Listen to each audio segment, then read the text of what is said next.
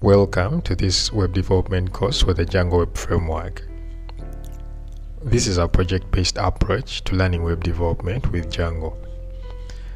In this course, you will build several applications, starting with a simple hello world, progressing to more complex web applications. By the end of this course, you will feel confident creating your own Django projects from scratch. Django is a free open source web framework written in Python and it's used by millions of programmers every year. You don't need previous Python or web development experience to complete this course. Even a beginner can follow along. Most websites need the same basic functionality, connecting to a database, displaying content on a page, handle security properly and so on. Instead of creating all this from scratch, programmers have created web frameworks. Django has support for common tasks in web development, such as user authentication, templates, routes and views, admin interface, robust security, support for multiple database backend, and much more.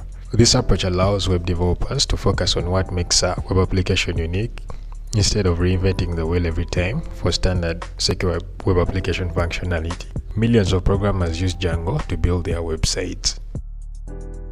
We start by setting up a local development environment in Module 1.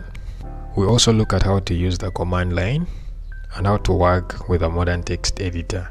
In Module 2, we build our first project, a Hello World app that demonstrates how to set up a new Django project. We'll also save our work with Git and upload a copy to our remote repository on GitHub. In Module 3, we make test and deploy a pages app that introduces templates and class-based views. We also add our first test and deploy the app to Heroku.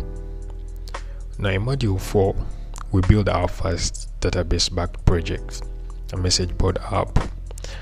Now Django provides a powerful feature that allows us to write Python code for the database tables. We'll also explore Django's built-in admin app that provides a graphical way to interact with our data. In modules 5 and 7, we'll build a robust blog app. We'll add forms and integrate Django's built-in user authentication system for sign up, login, and logout functionality. In modules 8 to 15, we'll build a robust newspaper site, introduce custom user models.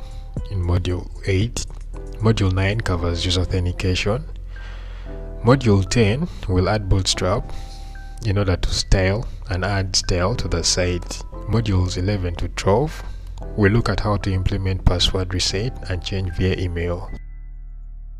With Module 13 to 15, we add articles and comments to our project along with proper permission and authorizations.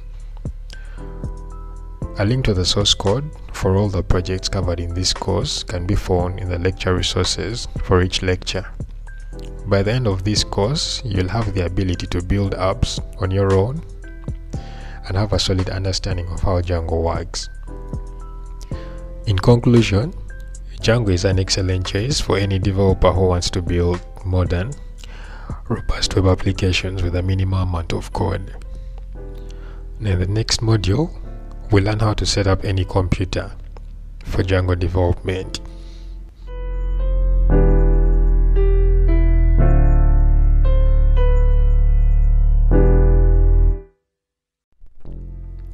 This module covers how to properly set up your computer to work with Django projects.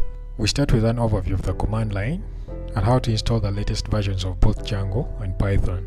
Then we discuss virtual environments, Git, and working with a text editor.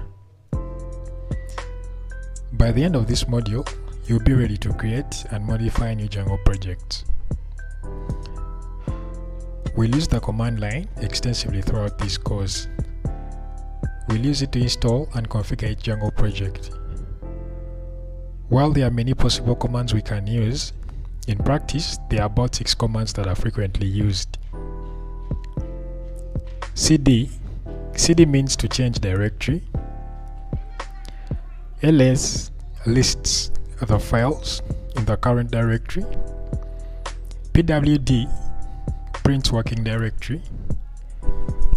mkdir makes a new directory. Touch creates a new file. This command does not work on Windows. You can use the new item command on Windows. Open your terminal and let's try them out.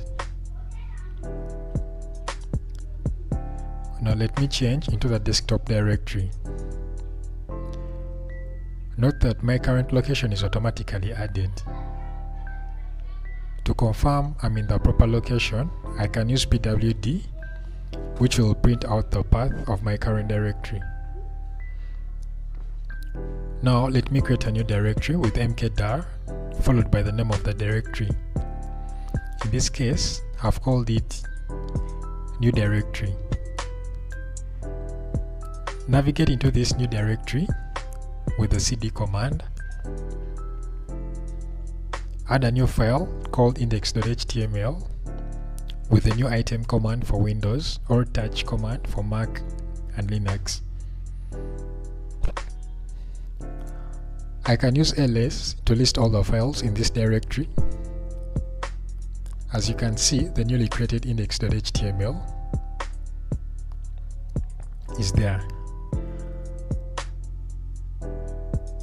I can use the pwd command to view my current directory. As you can see, I am in the new directory folder. Now, return to the desktop directory with cd period period. Then use pwd to confirm the location. Developers use the terminal to navigate through their computer with ease. This approach is much faster than using a mouse. So in the next lecture, we look at how to install Python on the computer.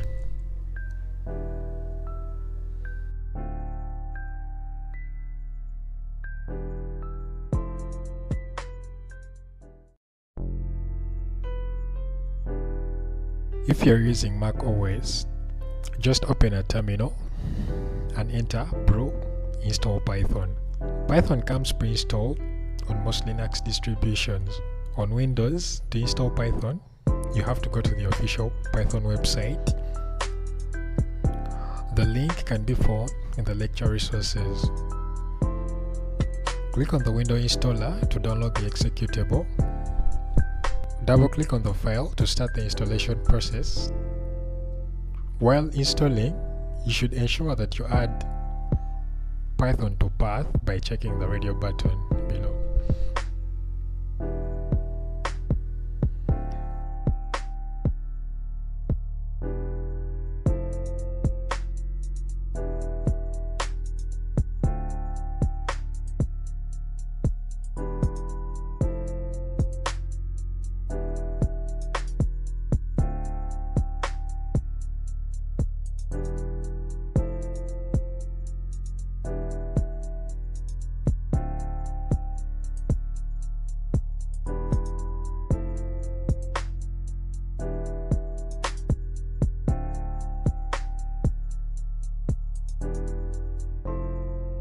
Installation is complete, you can verify that Python is installed by opening a terminal and typing Python version.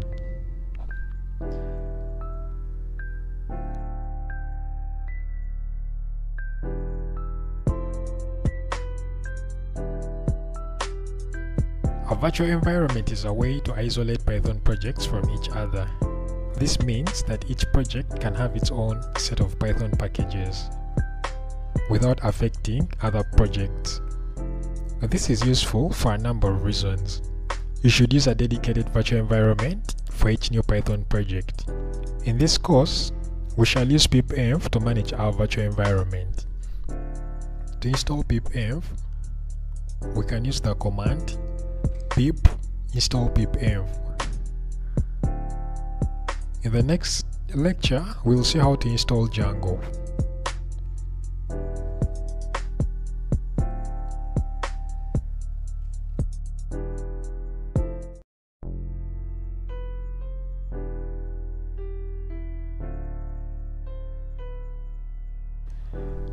In this lecture, we'll install Django. Now open a new terminal and navigate to the desktop.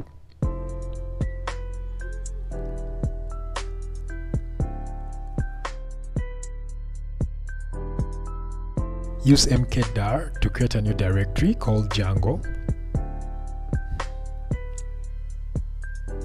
Move into the newly created directory with the cd command.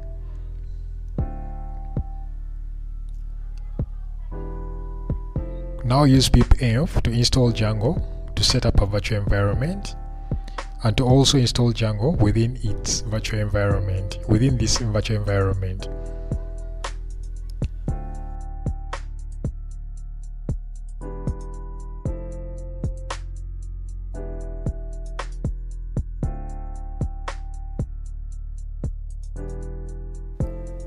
Now, if you look into the directory, there are two new files, pip file and pipfile.lock. Now these files track the packages that are installed in the virtual environment. This makes it easy to reproduce the environment that, that a project was developed in and to share projects with other people.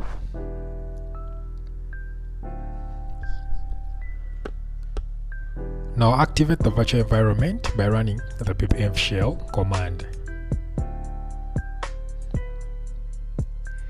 If you're using the Mac or Linux terminal, you should see parentheses around the name of your current directory. This indicates that the virtual environment is activated. But since I'm using PowerShell, the parentheses are not shown. Now, you can type pip freeze to see the packages that have been installed within the virtual environment.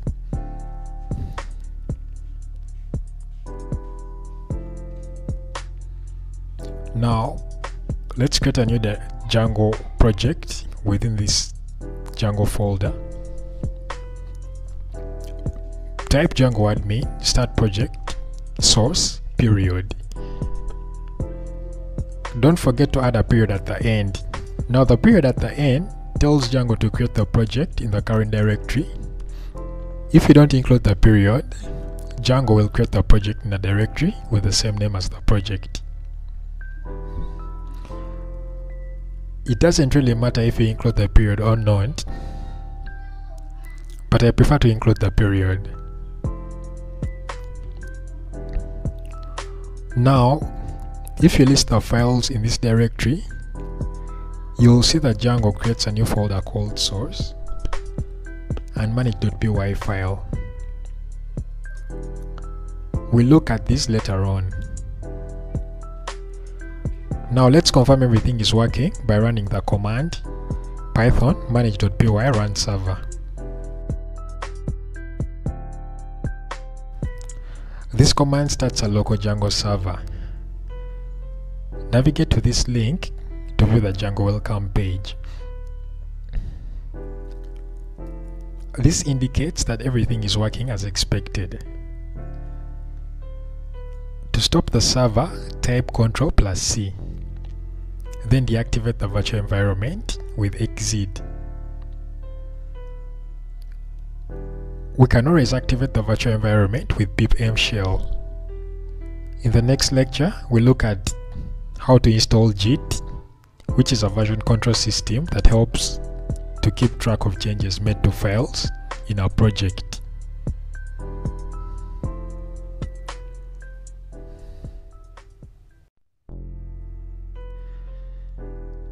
In this video, we look at how to install Git.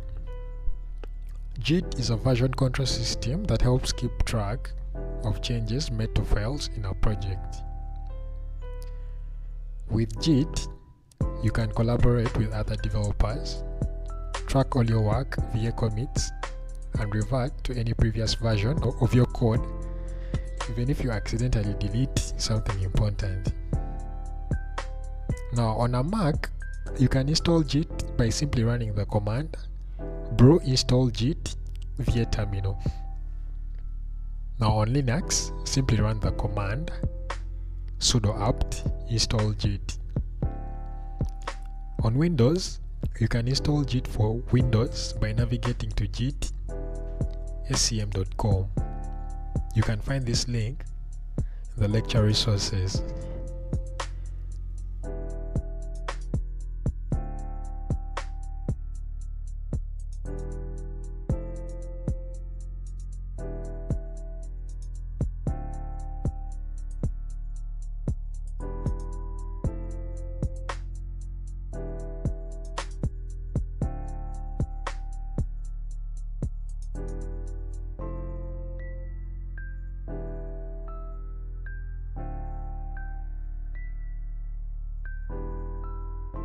You can confirm the installation by opening a terminal and typing git version.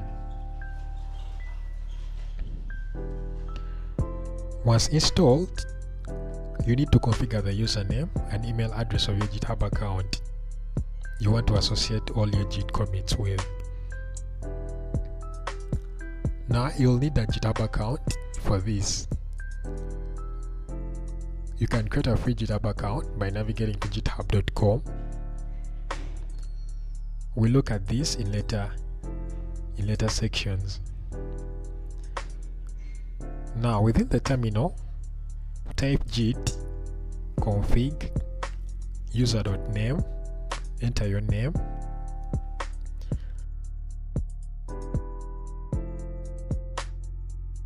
and git config user.email and then enter your email. You can always change these configs later if you desire by retyping the same commands with a new name and new email. In the next lecture, we'll discuss text editors.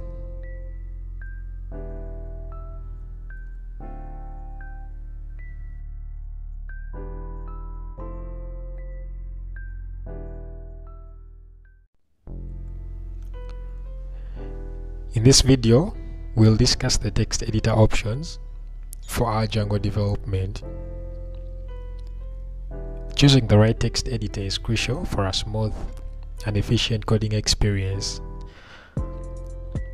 One of the text editors I highly recommend for Django development is PyCharm. PyCharm is a powerful development environment specifically designed for Python. It offers a wide range of features tailored for Django development, including intelligent code completion, debugging tools, version control integration, and much more. PyCharm provides a comprehensive and seamless development environment for building Django projects.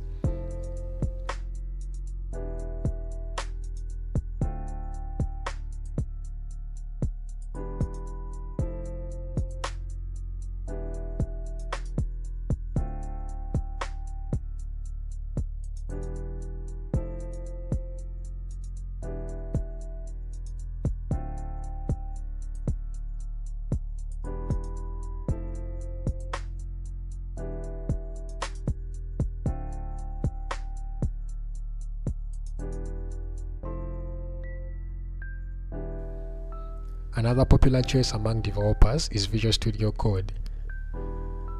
VS Code is a lightweight yet feature-rich text editor with excellent support for Python and Django development.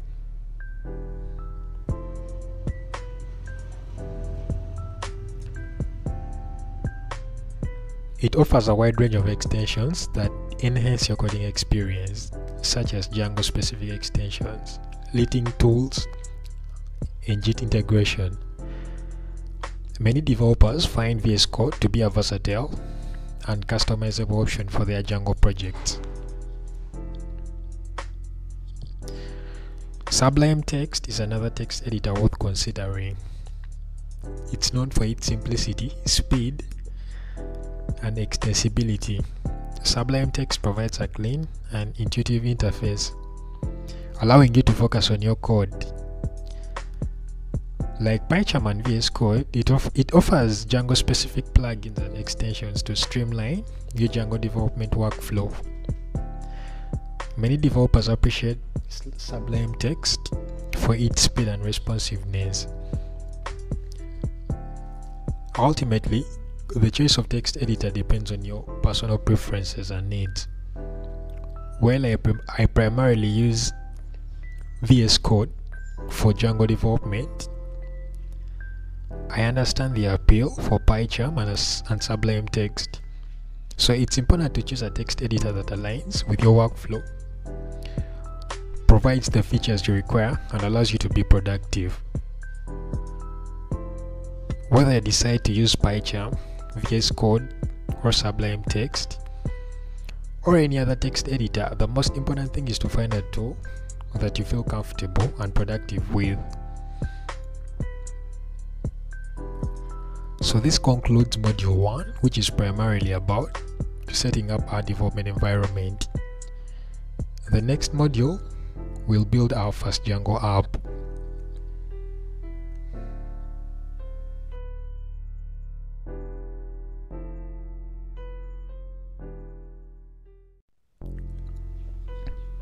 In this module, we'll build a Django project that simply says hello world on the home page.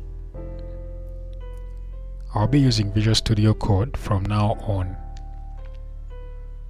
If you become stuck at any point, complete source code for this module can be found in the lecture resources. To begin, I open a new terminal within VS Code and navigate to the desktop.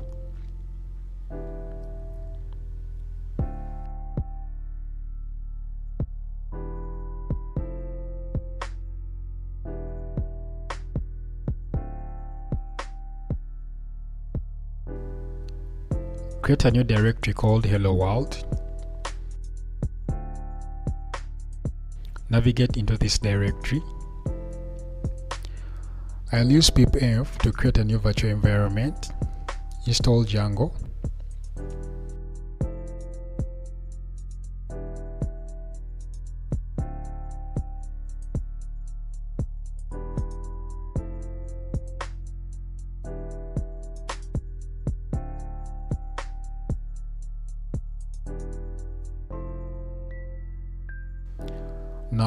Pipenv creates two new files, a pip file and a pipfile.lock that manage the project dependencies. Now activate the virtual environment by typing pipenv shell.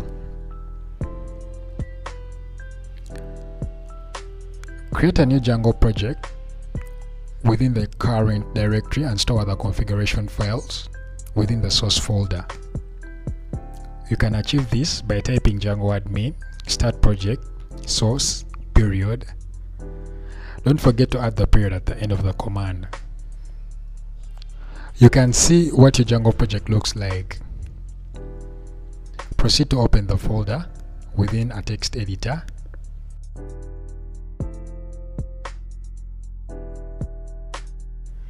If you're using VS Code, you need to activate the virtual environment for this project. You can do this by opening the search bar and simply typing forward arrow python then select interpreter.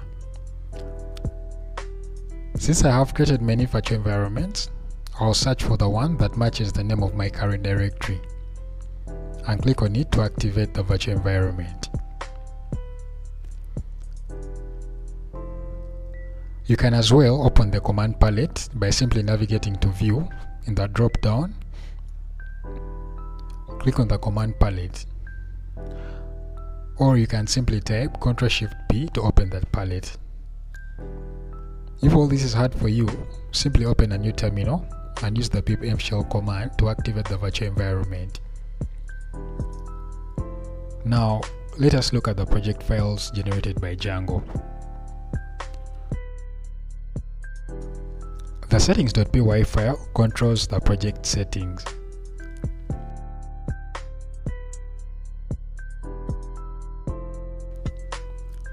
urls.py tells Django which pages to build in response to a user request.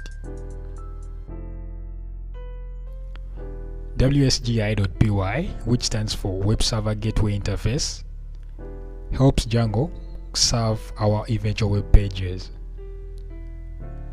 Manage.py is used to execute various Django commands as running the local web server or creating a new app.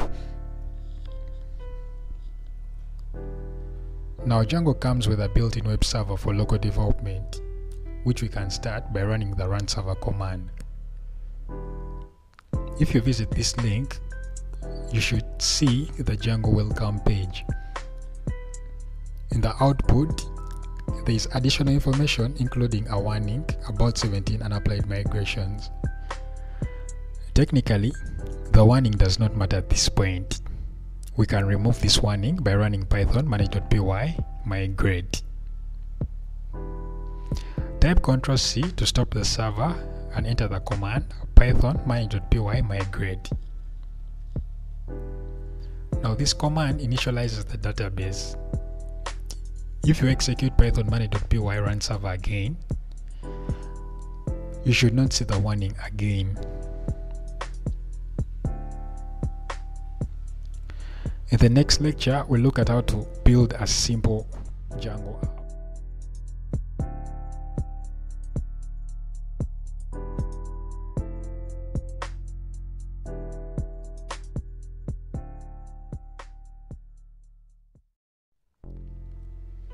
This lecture will be a continuation of the previous lecture.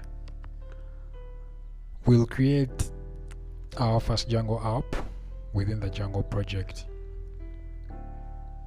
Now a simple Django project can, can contain more than one app. For example, a Django e-commerce app might have one app for user authentication, another for payments. Those are two different apps within one project.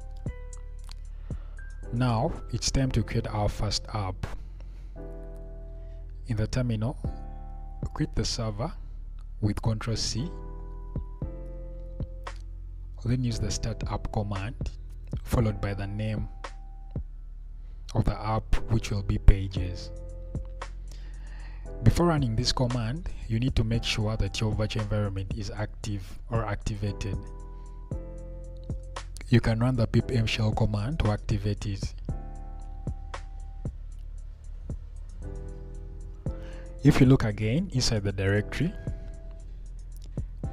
you will see the pages directory. Let's review what each file inside the pages directory does.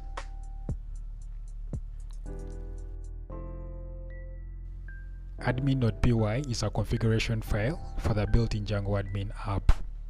app.py is a configuration file for the app itself.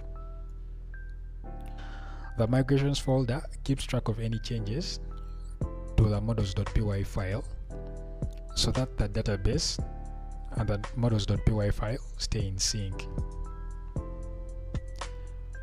test.py is for our app specific tests. Views are functions in Django that take a user's request and return a response. When a URL pattern matches, the corresponding view function is called and it determines what content to show on the page, often fetching data from the database models. Models.py, this file contains the database models for your application. Models define the structure of your data and how it should be stored in the database. Views often interact with models to get data to display on the page.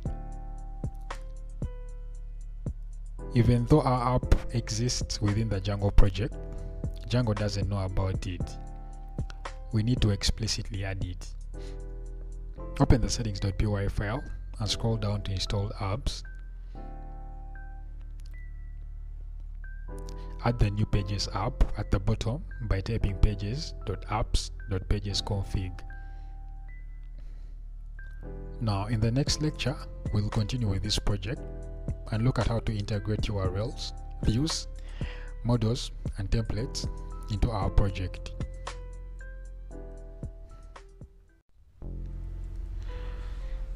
In this lecture, we'll look at how to use Git. This lecture is also a continuation of the previous lecture. In the previous module, we installed Git. Let's use it now. The first step is to initialize a Git repository within the hello world directory. Type Git init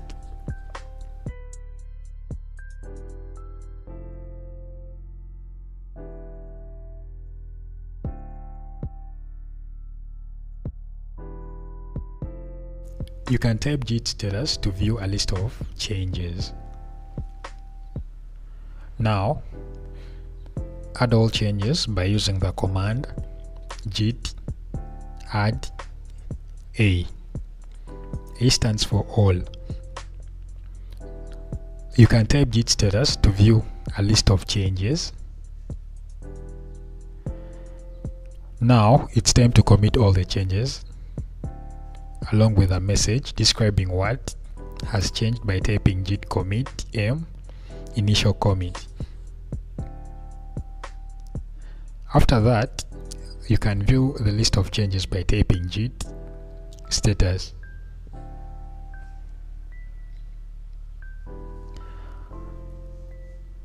It's a good habit to create a remote repository for your code for each project.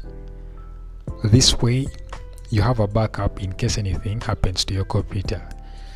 And more importantly, it allows for collaboration with other software developers.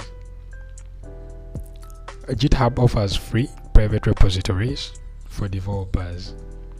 Now to get started on GitHub, sign up for a free account. After signing up, you need to create a personal access token. To do this, navigate to the account settings.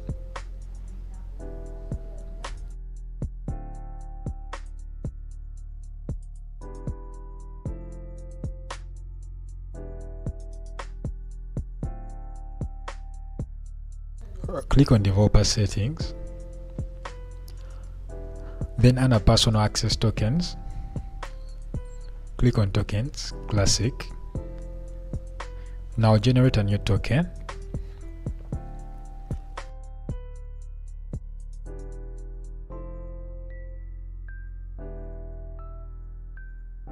Enter a simple description for your token.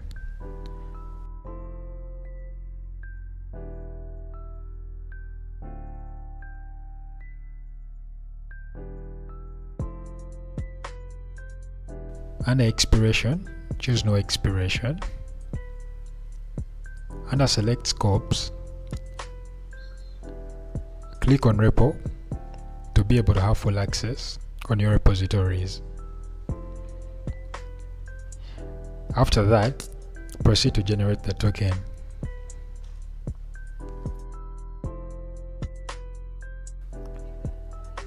Copy and save the token on your computer because you'll need it for authentication.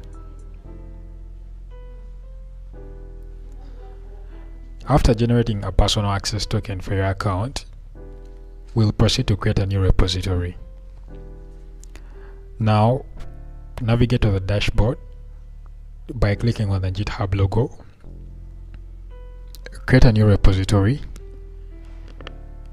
Enter the repository name, Hello World. Make the repository private.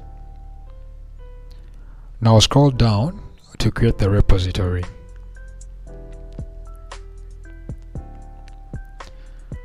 Now we'll push an existing repository from the command line. To do this, scroll down and copy the commands and paste them into the terminal.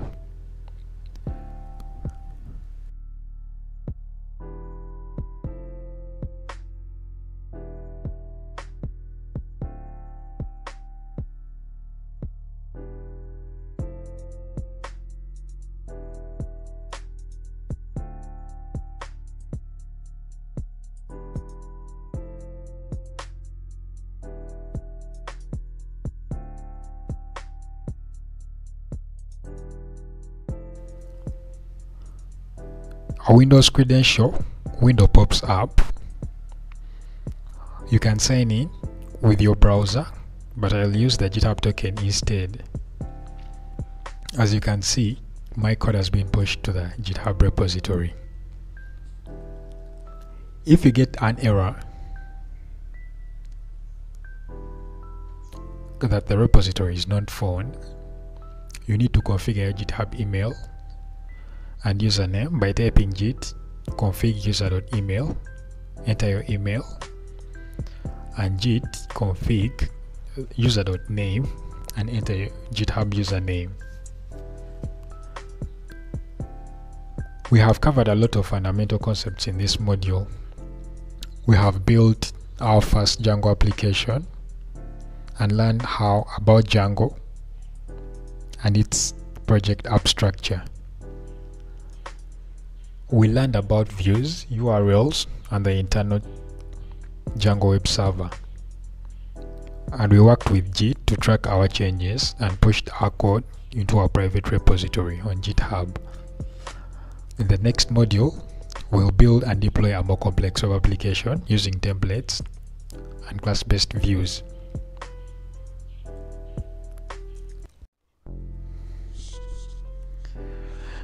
In this lecture, we'll continue with our previous lecture and look at how to add an about page.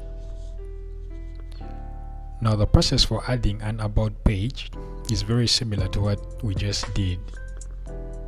We'll create a new template file, a new view, and a new URL route. I'll quit the server with Ctrl plus C and create a new template called about.html. I'll use the terminal to create the file inside the templates directory.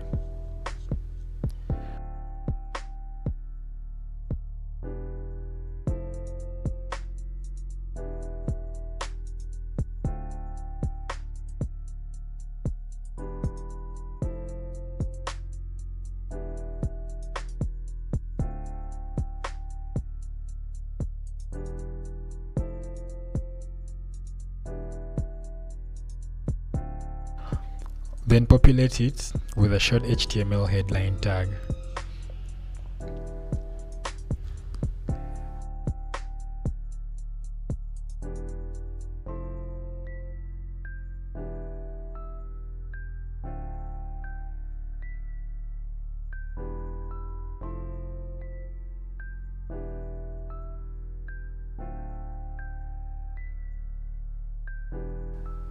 Create a new view for the page inside the pages folder.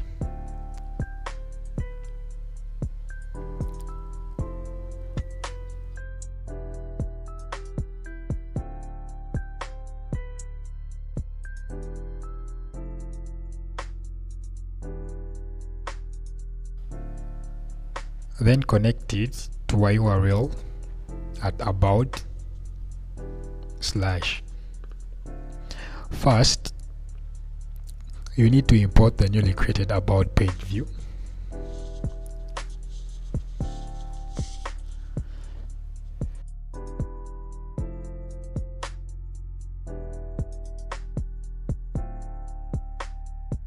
Start up the web server with python manage.py run server and navigate to the about page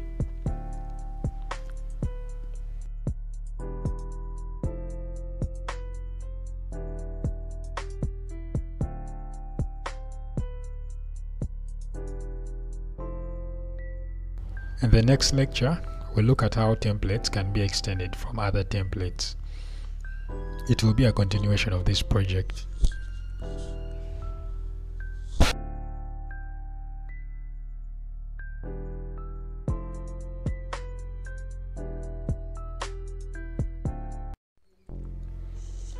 In Django, templates can be extended from other templates. This allows you to reuse common code and layout across multiple templates. Now to extend a template, you can use the extends template tag. This tag takes the name of the template to extend as its argument. Template inheritance is a powerful way to reuse code and layout in Django. Let's create a base.html file inside the templates directory.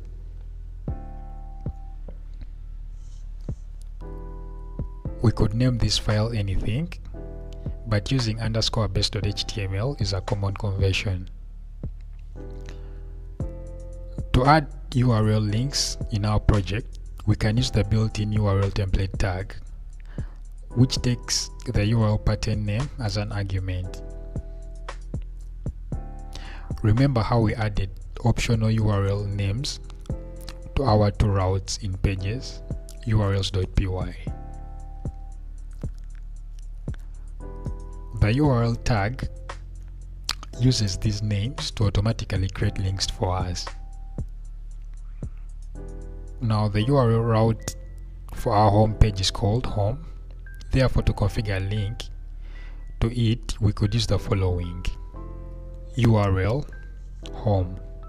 You can add HTML completion to your Visual Studio Code by installing third-party extensions. Or you could change the language mode to HTML or Django HTML. Since HTML snippet is deprecated and no longer being maintained, I don't recommend it. Let's install Prettier Code Formatter. I hope it works well with HTML.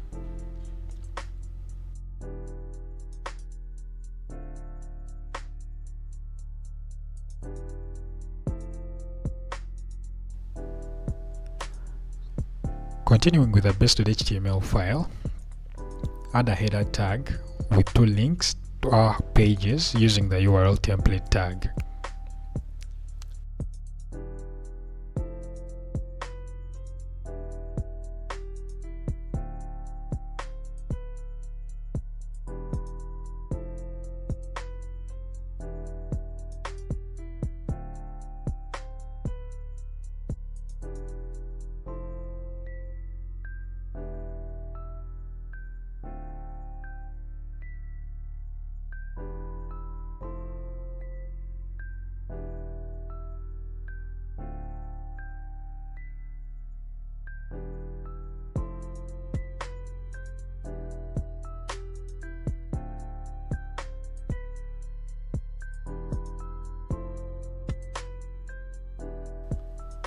At the bottom, add a block tag called content.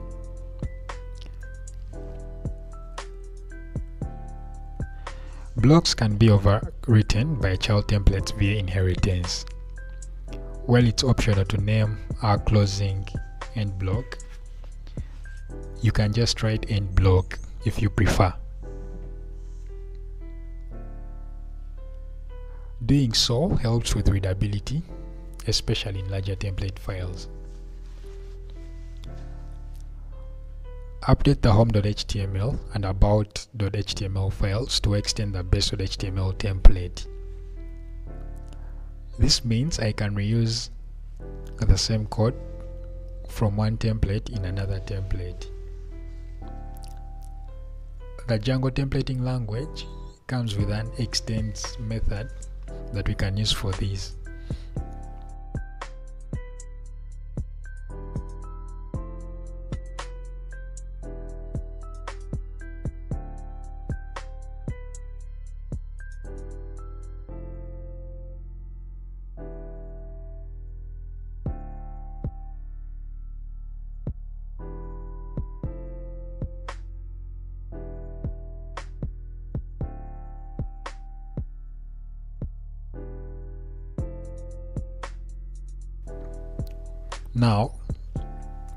If your server is not running, you can restart it.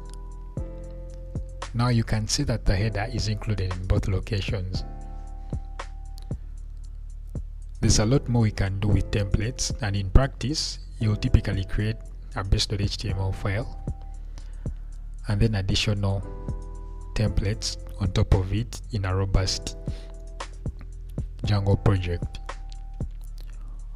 We'll do this later on in the course. In the next lecture, we'll continue with this project and look at how to write unit tests for testing this project.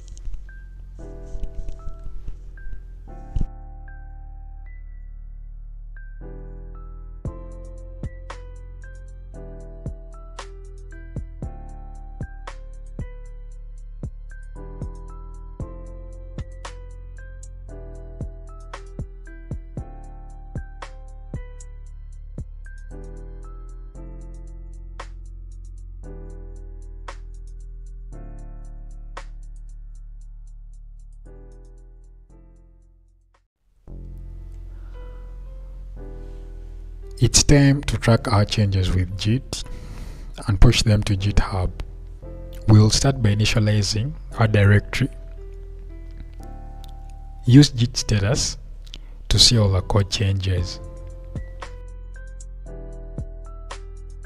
Then type git add all to add all the changes.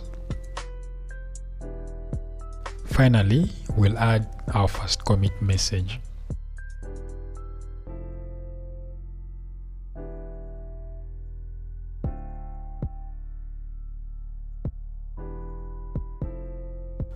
Navigate to your GitHub account and create a new repository.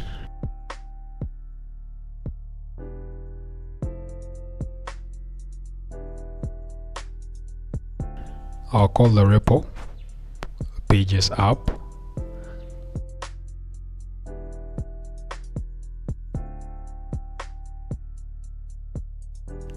make sure to select the private radio button and then click on the create repository button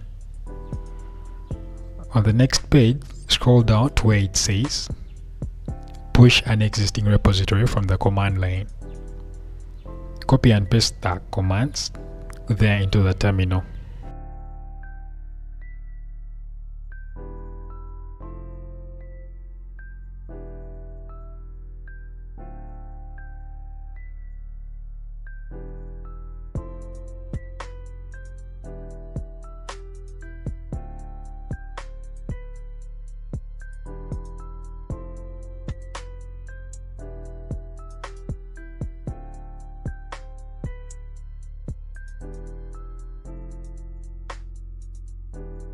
Now, in the next lecture of this module, we look at deploying our application to Heroku.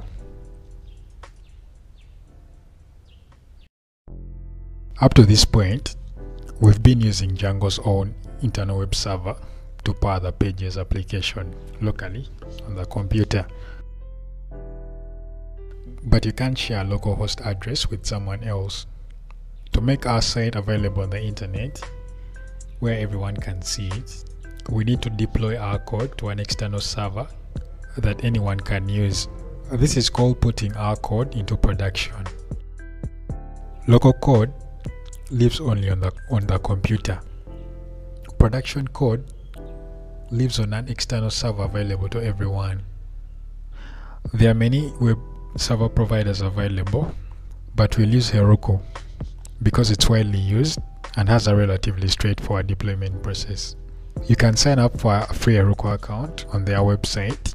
After you confirm, your email, Heroku will redirect you to the dashboard section of the site.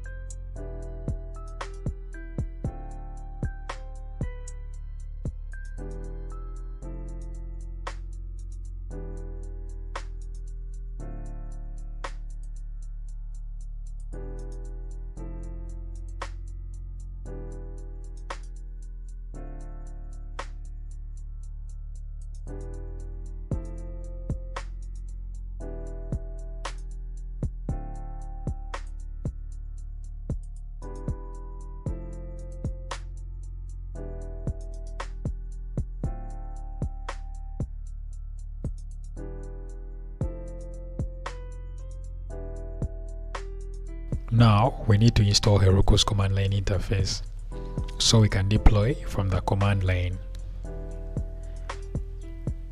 We want to install Heroku globally so that it's available across our entire computer.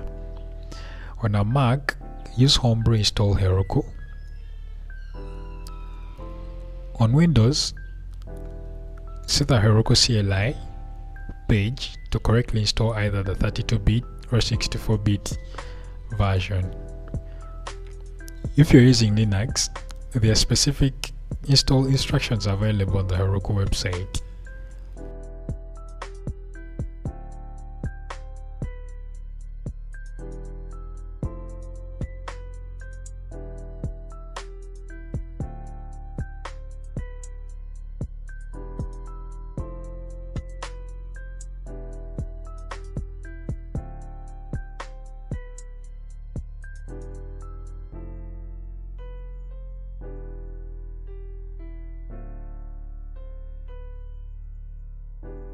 Now to verify that Heroku is installed, you can type Heroku version.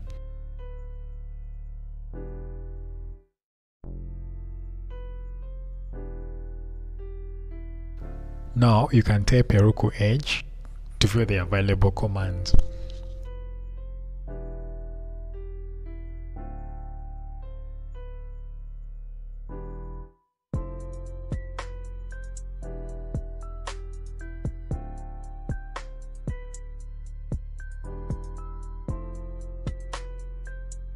Type Heroku login H to view the commands associated with the login option.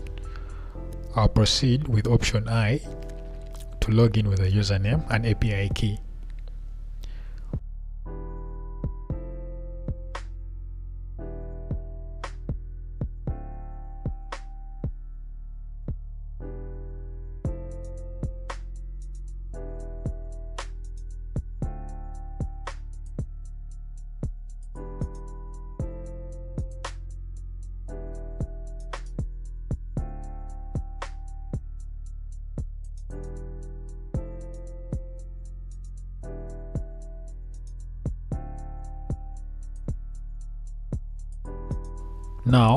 Password is deprecated and we can't use and, and it can't be used.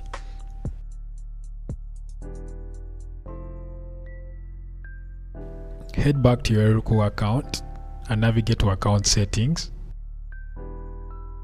Scroll down to the API key and copy and paste it in your terminal.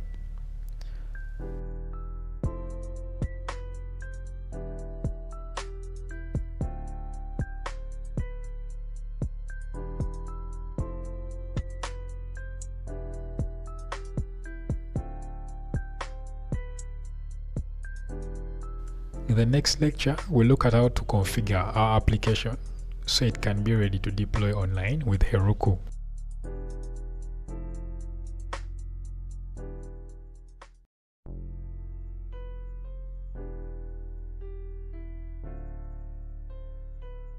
We need to make the following four changes to our Pages project so that it's ready to deploy online with Heroku. We need to create a new Procfile we need to install Gunicorn as a web server. Lastly, we'll make a change to the settings.py file. First, create a Procfile, which is a configuration file specific to Heroku.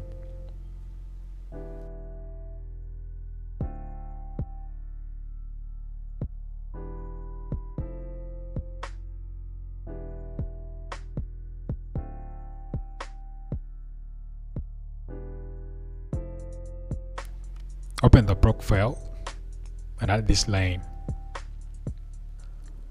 This says to use Gunicorn, which is a web server suitable for production, instead of Django's own server, which is only suitable for local development. Install Gunicorn using pipenv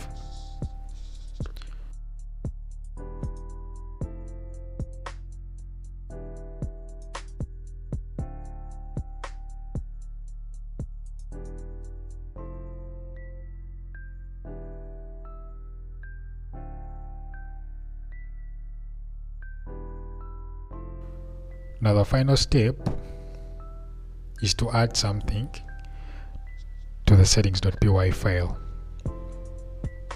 Scroll down to the section called allowed hosts and add this wildcard. Now the allowed host setting represents which domains our website can serve. This is a security measure to prevent malicious attacks. However, we've used this asterisk, which means all domains are acceptable to keep things simple for now. In production, you have to explicitly list other domains to be allowed. Now, use git status to check out changes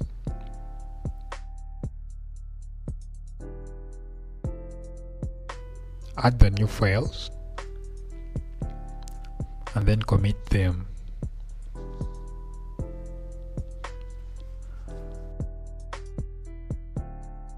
Finally, push to GitHub so we have an online backup of our code changes. In the next lecture, we look at the final step which is which is to deploy the app to Heroku.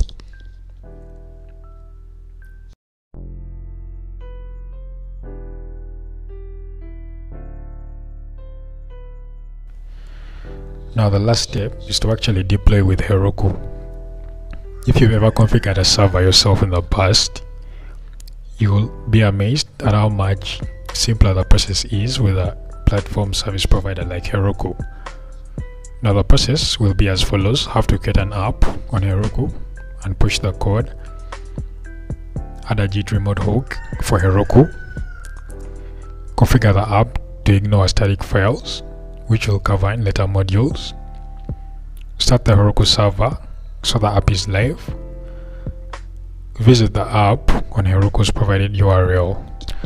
Now in order to create a new app, you need to verify your account by adding payment information. Navigate to your Heroku account and add a payment method.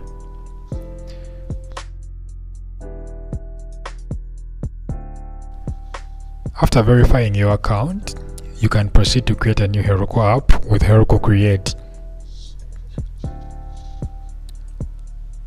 Heroku will create a random name for, for the app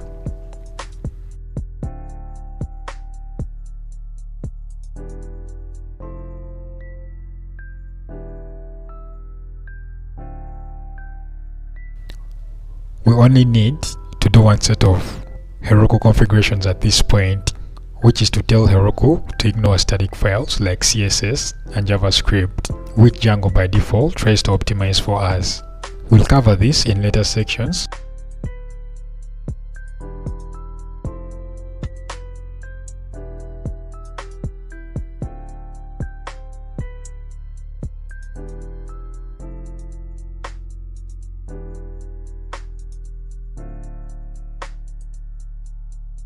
For now, just run the following command.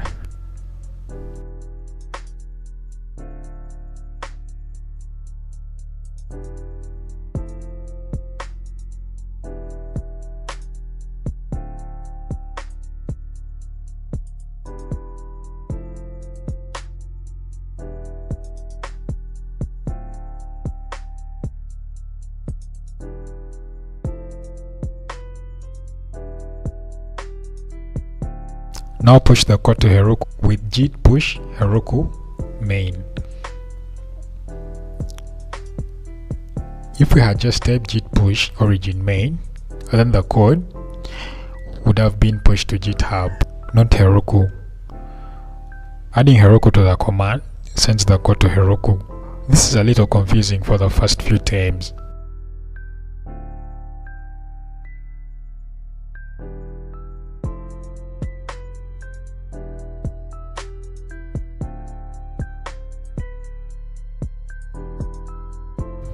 Finally, we need to make our app live. So as our website grows in traffic, they need additional Heroku services. But for our basic example, we can use the lowest level.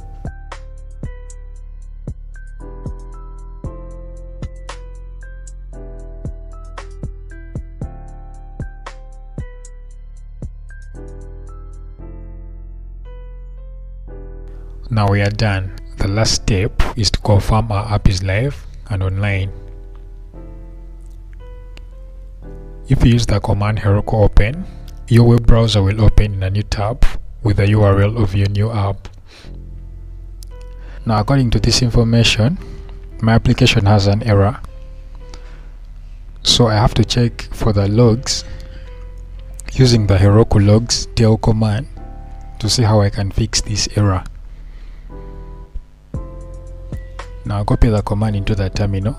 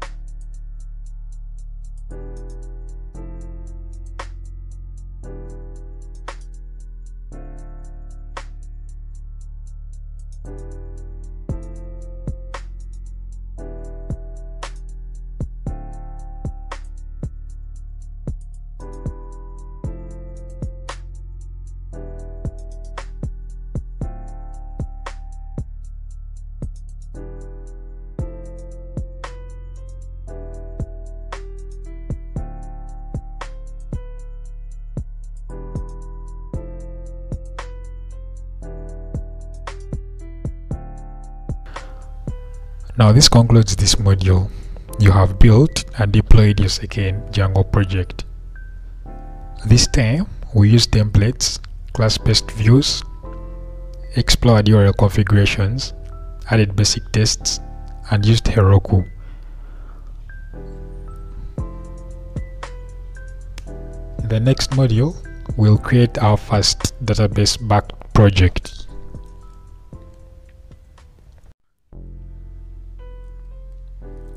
In this module, we'll use a database for the first time to build a basic message board application where users can post and read short messages. We'll explore Django's powerful built-in admin interface which provides a visual way to make changes to our data.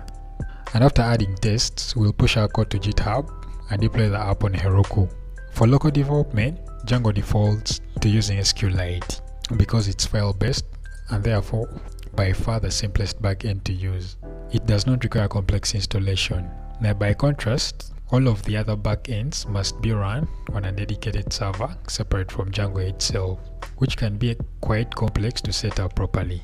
In this course, we'll start by using SQLite as a local database and later switch over to using PostgreSQL as our production database on Heroku. Since we've already set up several Django projects, at this point in this course, we can quickly run through the standard commands to begin a new one. We need to do the following. Create a new directory for our code on the desktop called MB. Install Django in a new virtual environment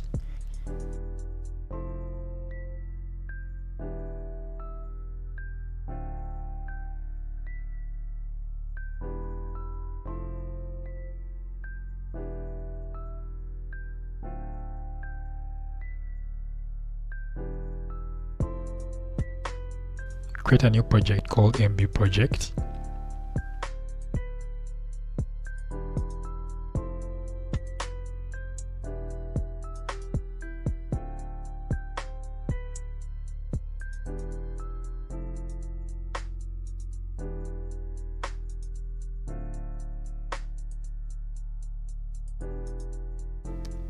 Create a new app called posts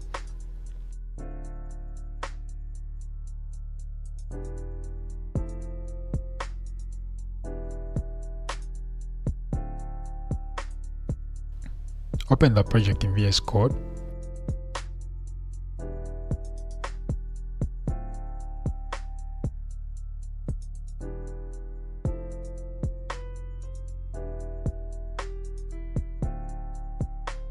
Ensure to activate the virtual environment for this project by either selecting a Python interpreter through the command palette or by using the pipenv shell command in the terminal.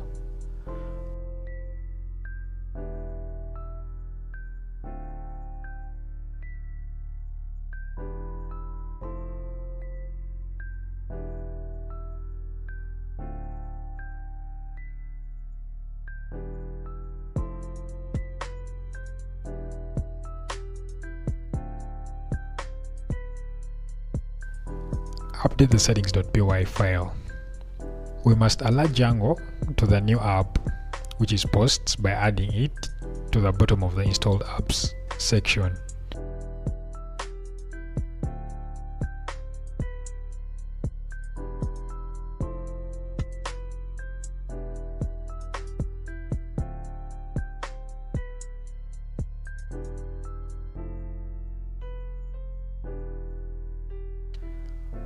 Execute the migrate command to create an initial database based on Django's default settings. If you look inside our directory with the ls command, you'll see there's now a db.sqlite3 representing our SQLite database. To confirm everything works correctly, spin up the local server.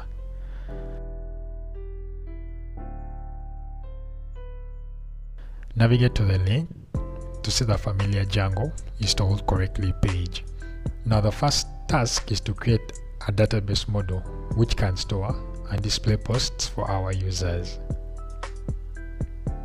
Open the models.py file inside the posts directory and look at the default code which Django provides. Django imports a module called models to help us build new database models. We want to create a model to store the textual content of a message board post, which we can do as follows.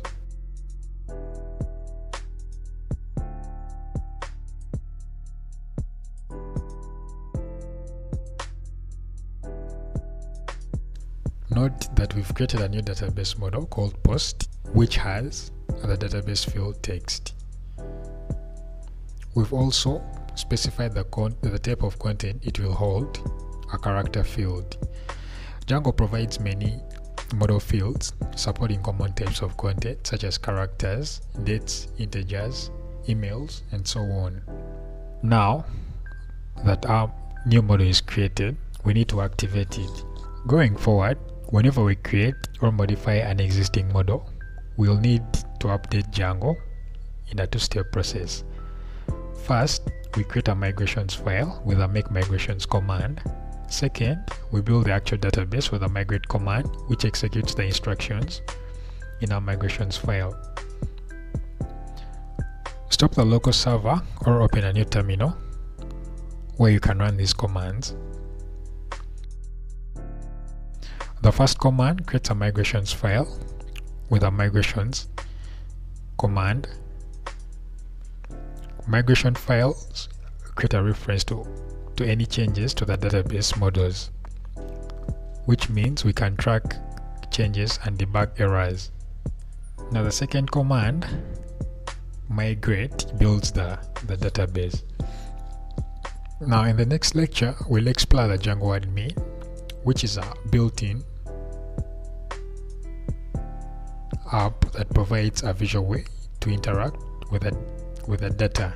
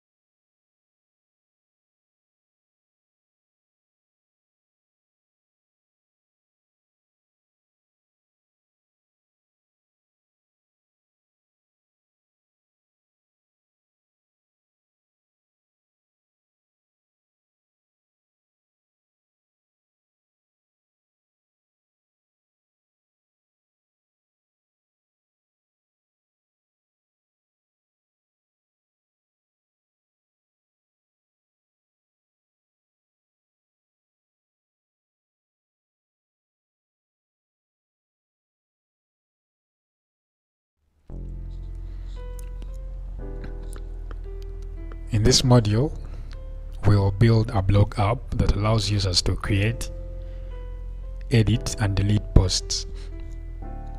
The home page will list all blog posts and there will be a dedicated detail page for each individual post. We'll also introduce CSS for styling and learn how Django works with static files. As covered in previous modules, the first steps for setting up a new Django project are as follows.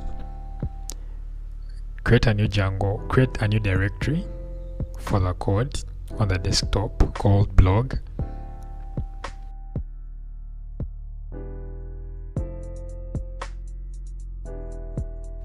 install Django in a new virtual environment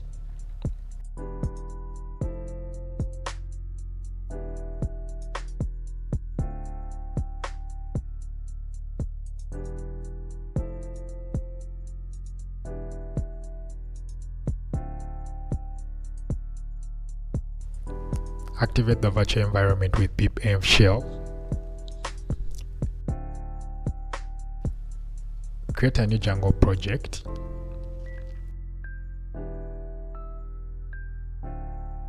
Create a new app called posts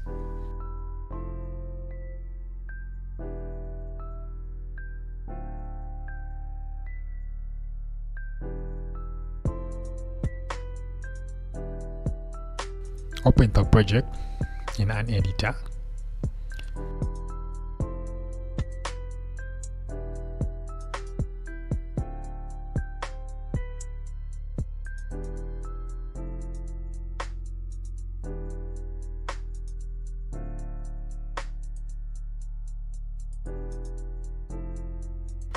Select the interpreter for this project. This activates the virtual environment automatically every time.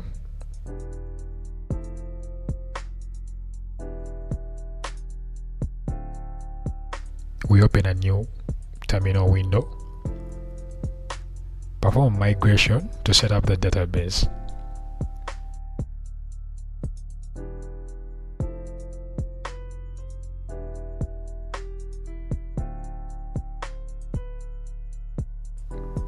start the server with a run server command. Update the settings.py file and add the newly created app to the installed apps list.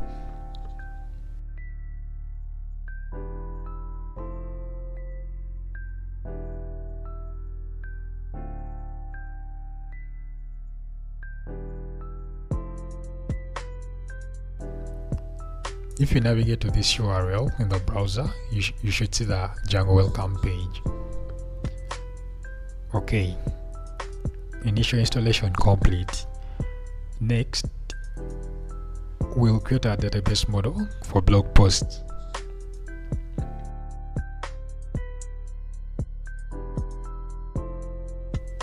Open the models file inside the posts app and add the following code.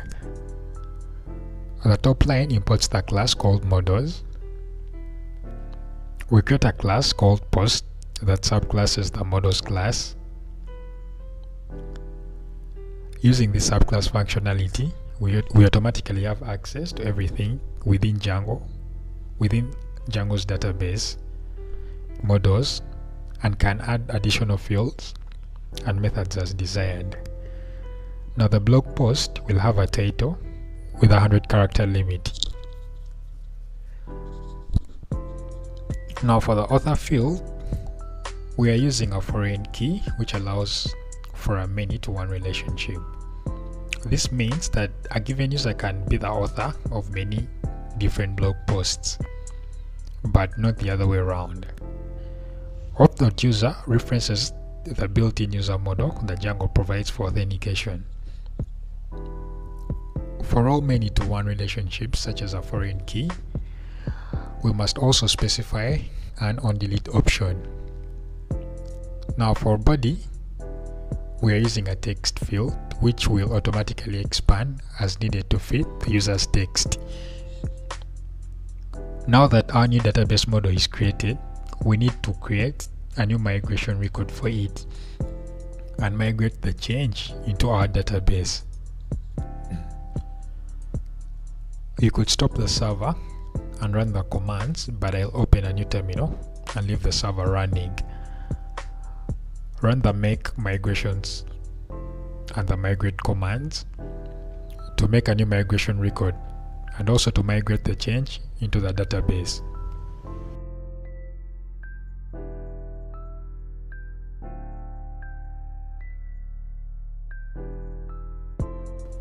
Now the database is configured, we need a way to access our data.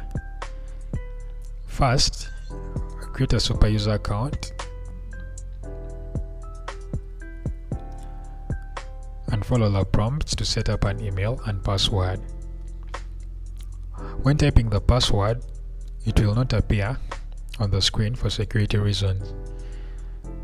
Now start the start running the Django server again with the command python manage.py run server and open the Django admin. Log in with your super user account.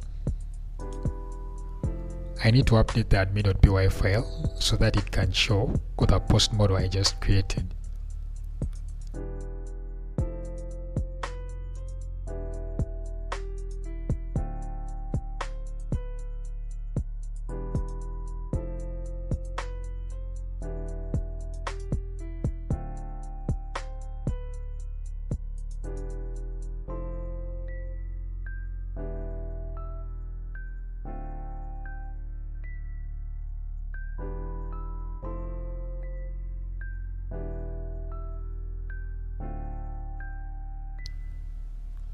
Navigate back to the admin page and refresh the page to see the update. Let's add some blog posts. Click on the add button next to it, next to posts to create a new entry.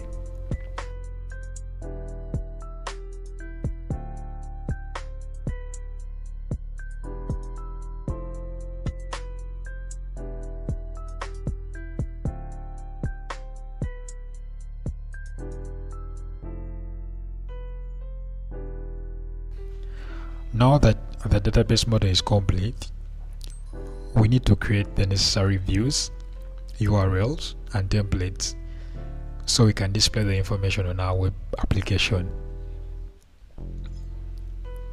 Create a new urls.py file within the post folder.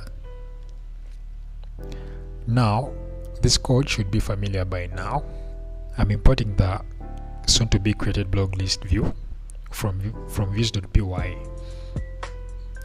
Now update our urls.py file in the source directory so that it knows to forward all requests directly to the blog app.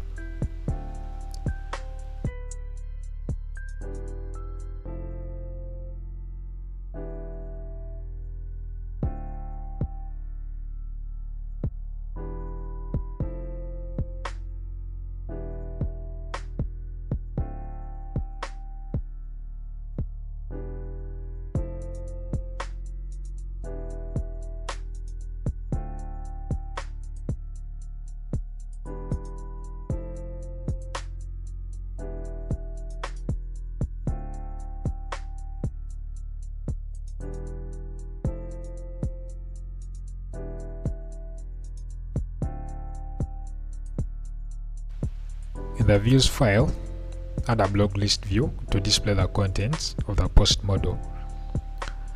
We import list view and the database model.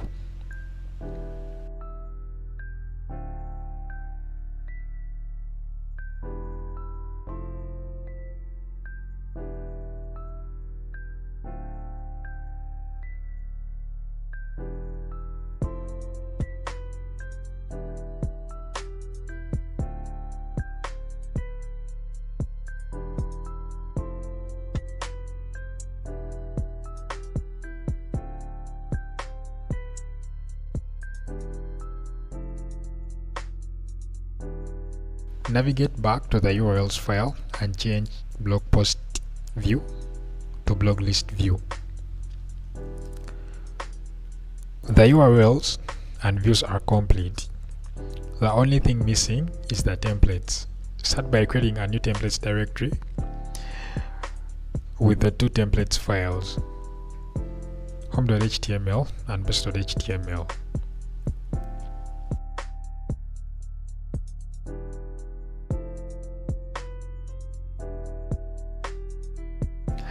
Update the settings.py file so that Django knows to look for the templates in the templates directory.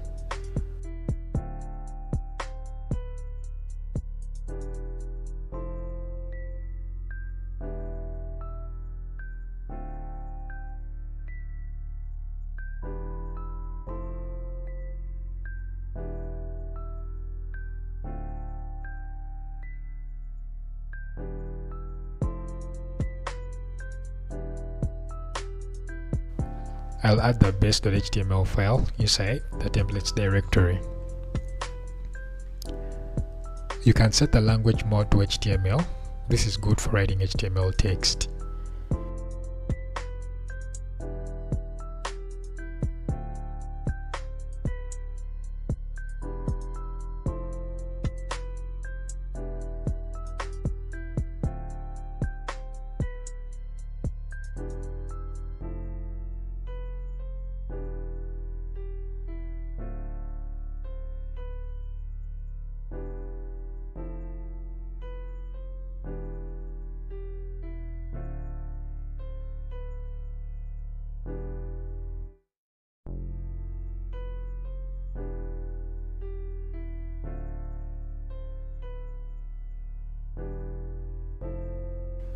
The code inside the content block can be filled by other templates.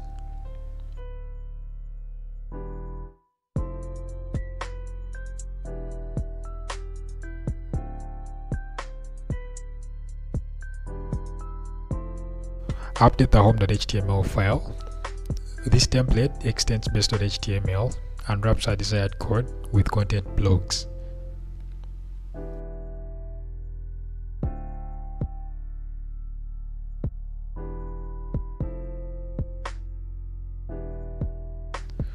I use the Django templating language to set up a simple loop for each blog post. Note that object list comes from list view and contains all the objects in our view.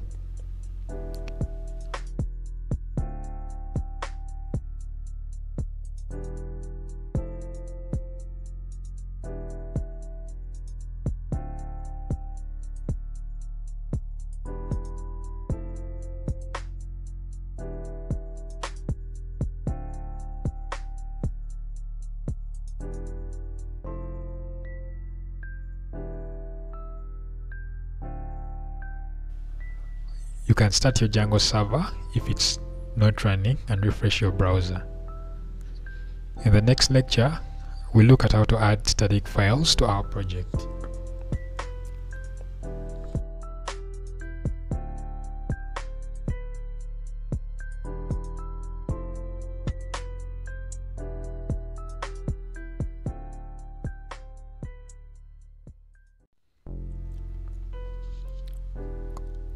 Need to add some CSS which is referred to as a static file. Because unlike the dynamic database content it doesn't change. Create a new directory called static. Just as we did with our templates directory we need to update settings.py to tell Django where to look for these static files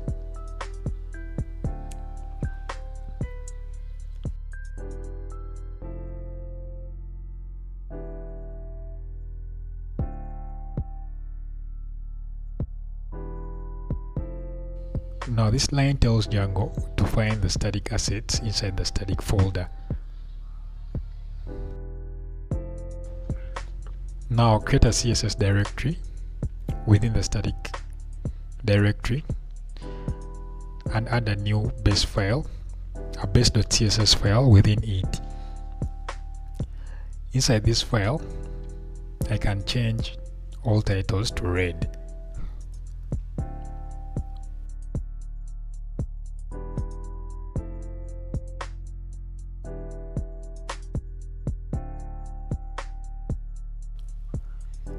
Finally we need to add the static files to the templates. By adding load templates tag to the top of the base.html file. Or include a new file that explicitly references our new base.css file. Now start the server and refresh the browser and see the updated home page.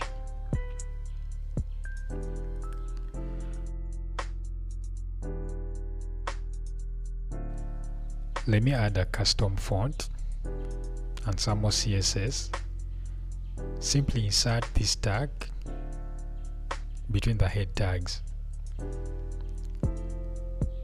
You can find this content in the lecture resources. Then update the css file by copy and pasting the following code now you can find this code in the resources for this lecture in the next lecture, we look at how to add individual web app web pages to the blog app.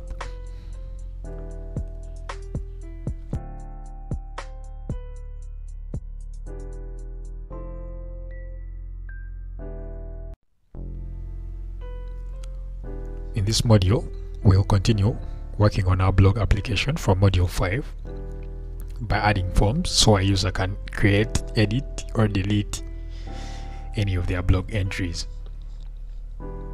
Forms are very common and very complicated to implement correctly. Anytime you are accepting user input, there are security concerns. Proper error handling is required. Fortunately, Django has built-in forms that abstract much of the difficulty and provide a rich set of tools to handle common use cases working with forms. Now to start, update the base template to display a link to our page for entering new blog posts.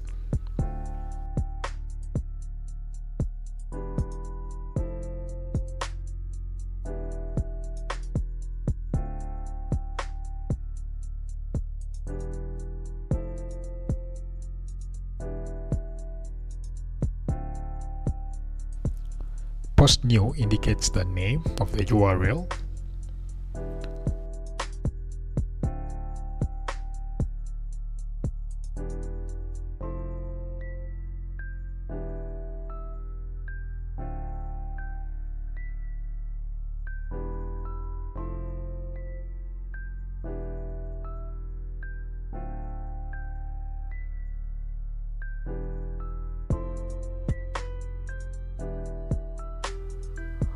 let's add a new URL configuration for the post new.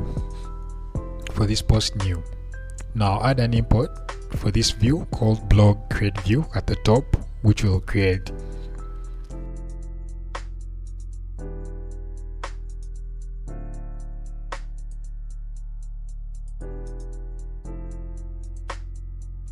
Then add a URL which will start with post slash new and name it post new.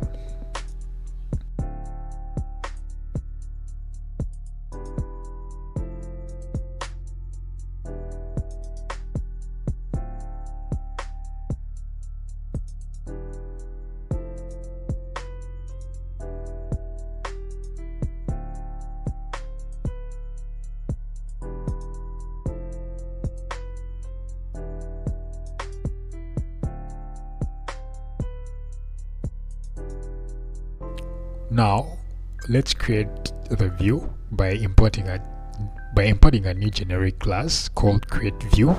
At the top then subclass it to create a new view called blog create view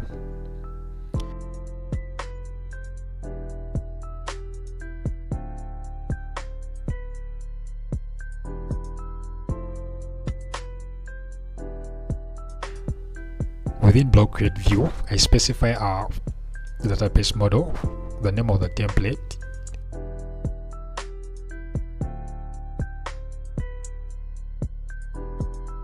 Now for fields, for fields I set the database fields I want to expose which are title, author and body.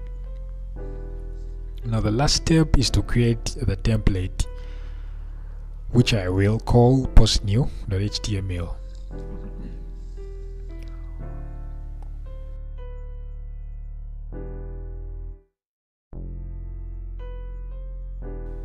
Now the top line we inherit from the base template as before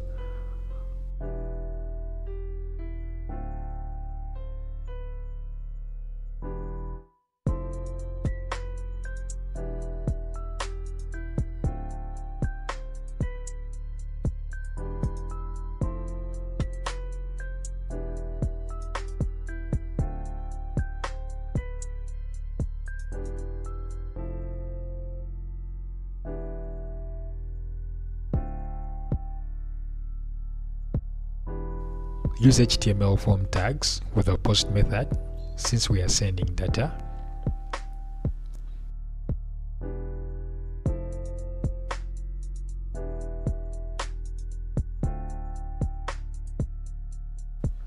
Add a CSRF token with Django, which Django provides to protect the form from cross-site scripting attacks. You should use it all all the time for your Django forms. Now then to output our form data, we use form.as underscore p which renders it within paragraph tags. Finally, specify an input type to submit and assign it the value save.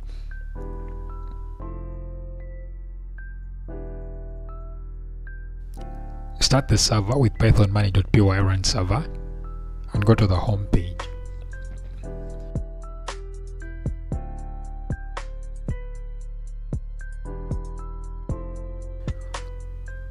Click on the link for new blog post.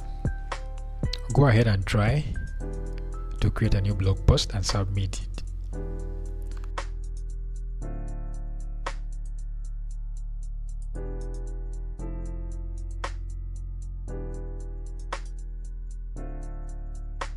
An error message is displayed. We did not specify where to send the user after successfully submitting the form. Let's send the user to the detail page after success. That way, they can see their completed post. Now open the models.py file, add an import for reverse, and add a new method.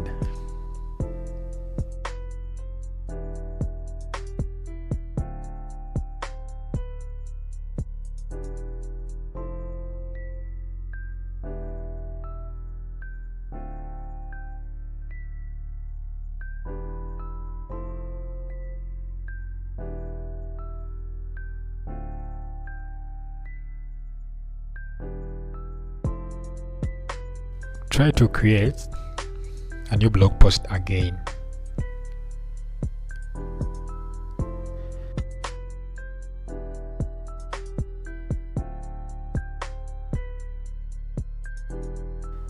Now after clicking the save button you are now redirected to the detailed view page where the post app appears Now the process for creating an update form so users can edit blog posts should feel familiar. We'll again use a built-in Django class-based generic view and create the template URL and view. To start, let's add a new link to postdetail.html so that the option to edit a blog post appears on an individual blog page.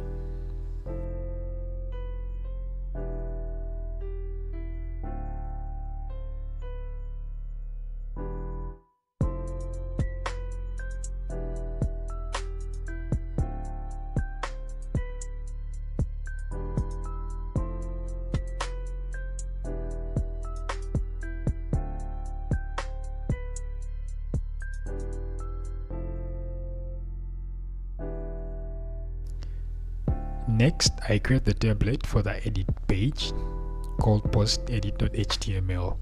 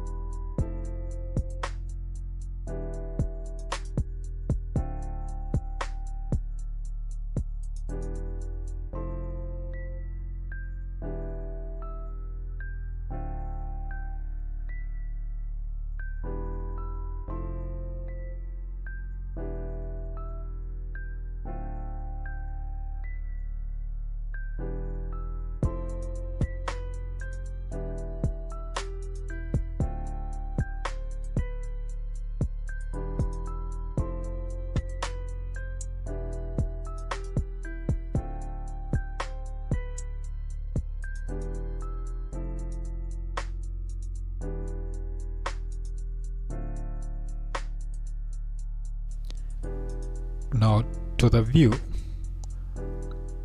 I need to import update view and then subclass it in the new view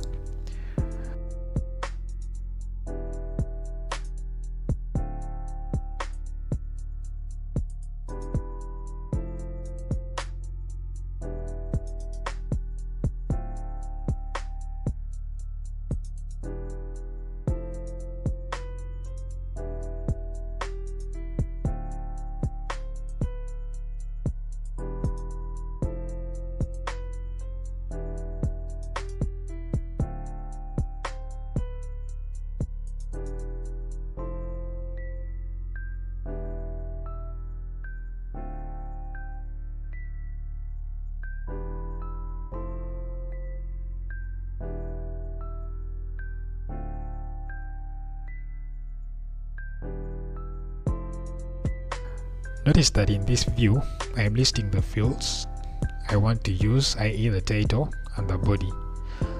I only want the title and the text to be editable. Now the final step is to add is to update my urls.py file,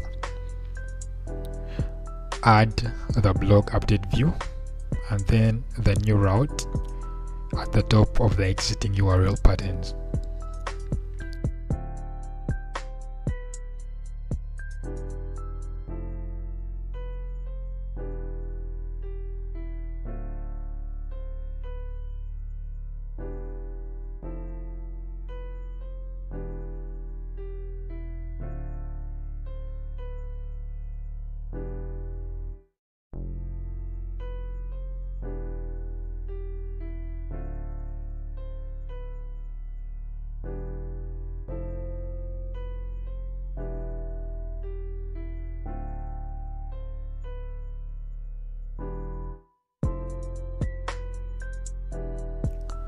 Now if you click on a blog entry if you click on a blog entry you'll see the new edit button. In the next lecture we'll continue with this blog app and look at how to add other views as well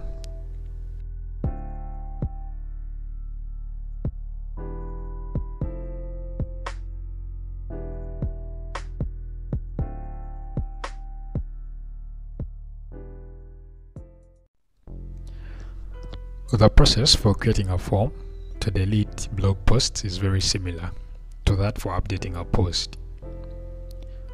We'll use yet another generic class based view called delete view. Start by adding a link to delete blog posts. Add this link inside the blog detail page.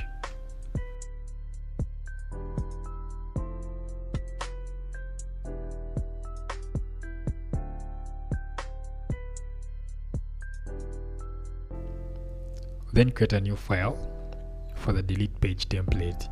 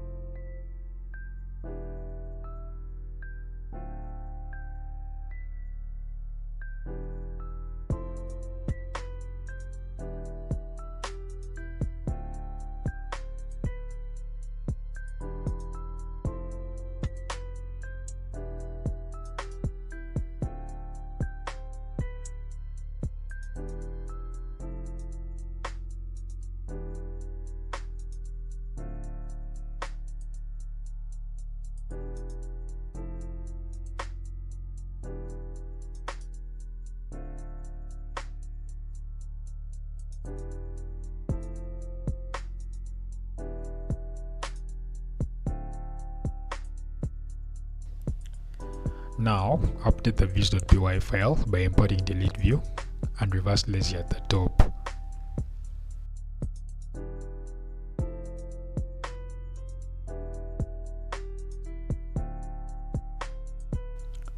Then create a new view that subclasses delete view.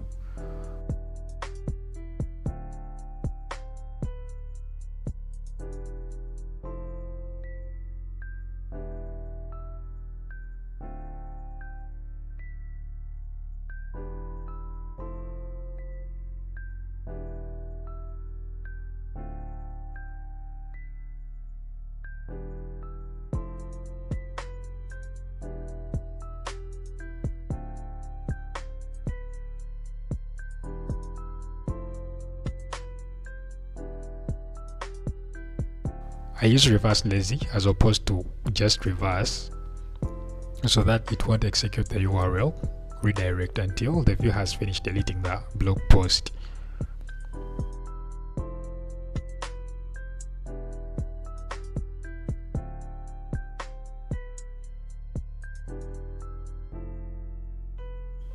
Finally, create a URL by importing the blog detail the blog delete view and adding a new pattern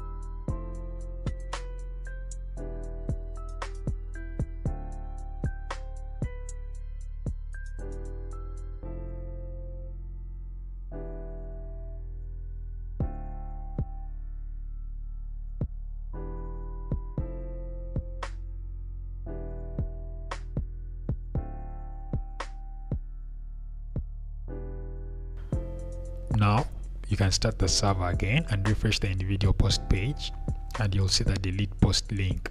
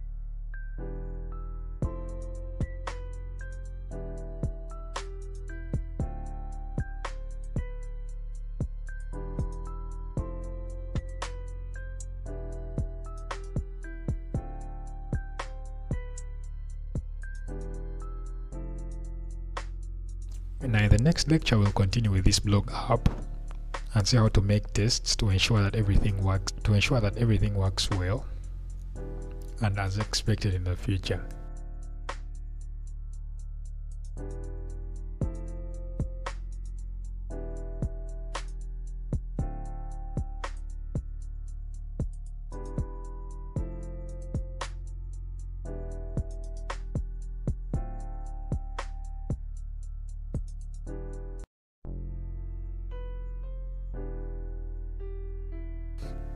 Make sure everything works well, we need to make some tests. In the previous lectures, I added a get absolute URL method to the model and new views for create, update and edit posts. That means I need to test these features. Let's update the test.py file.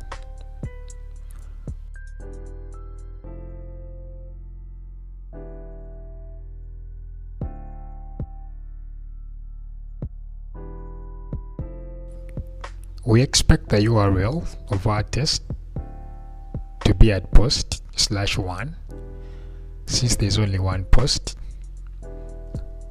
and the one is its primary key.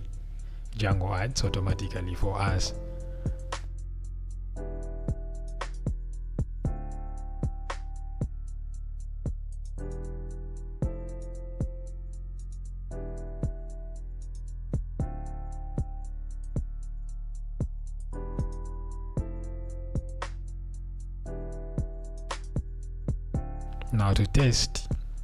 Create view, we make a new response and then ensure that the response goes through status code 200 and contains a new title and body text.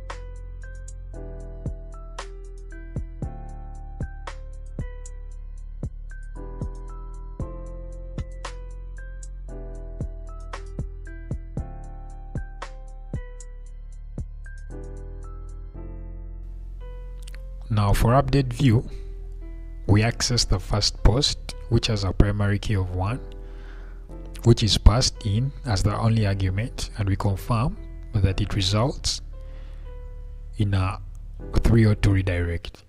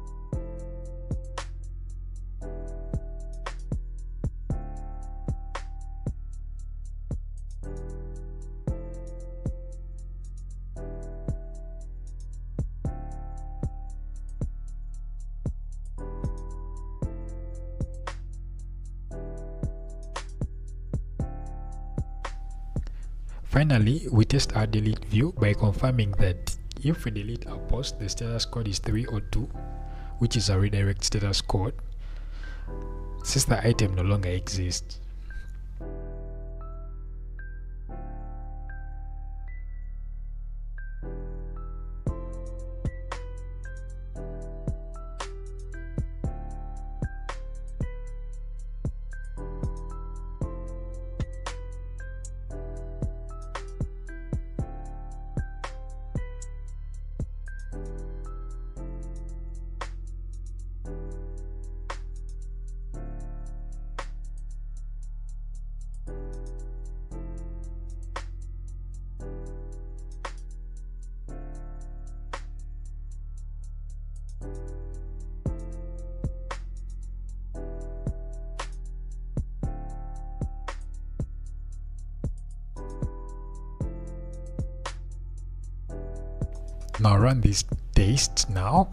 Should all pass.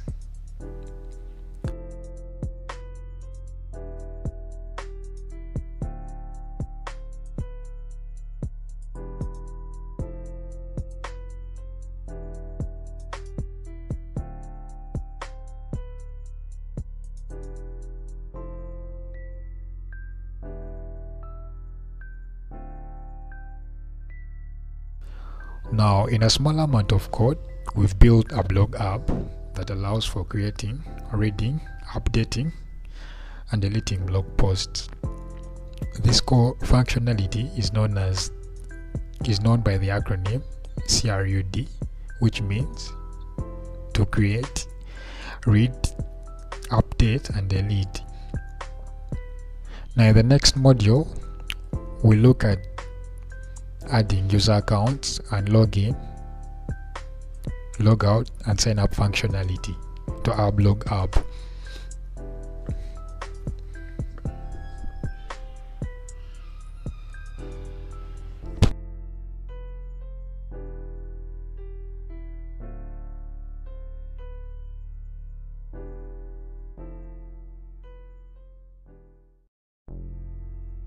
So far we've built a working blog app that uses forms, but we are missing a major piece of most web applications, which is user authentication. Implementing proper user authentication is hard.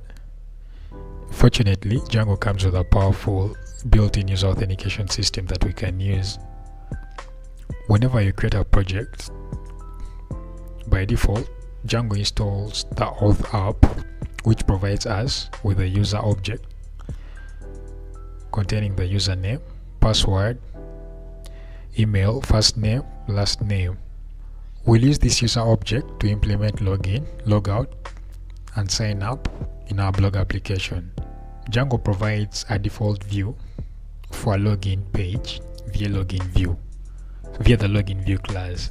All we need to add is a URL pattern for the auth system, a login template, and a small update to our settings.py file. First, update the source urls.py file. I'll place the login and logout pages at the account slash URL.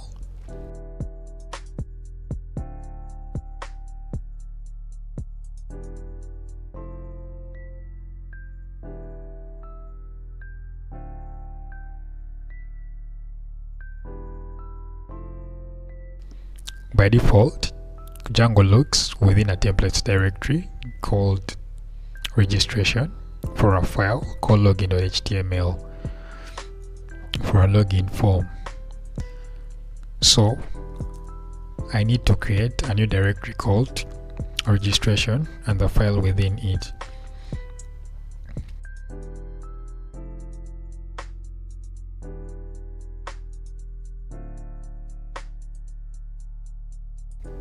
Now add the following code within our newly created file.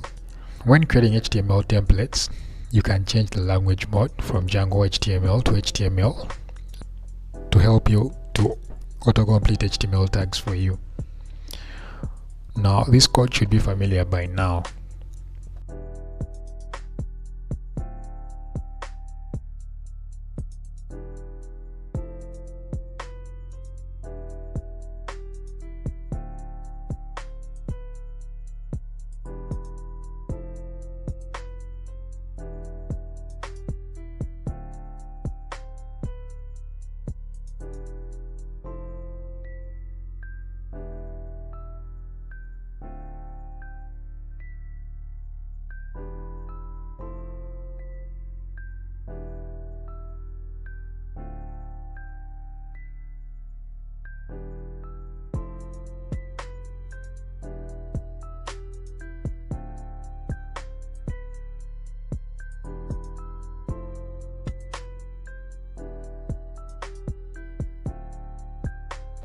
Final step is to to specify where to redirect the user upon a successful login.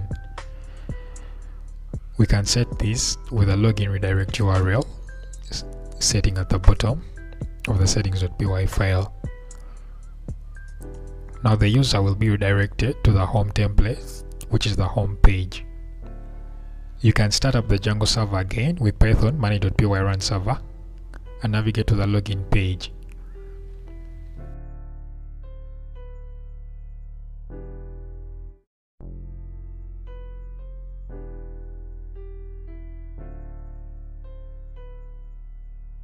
Upon entering the login info for the super user account, I'm redirected to the home page.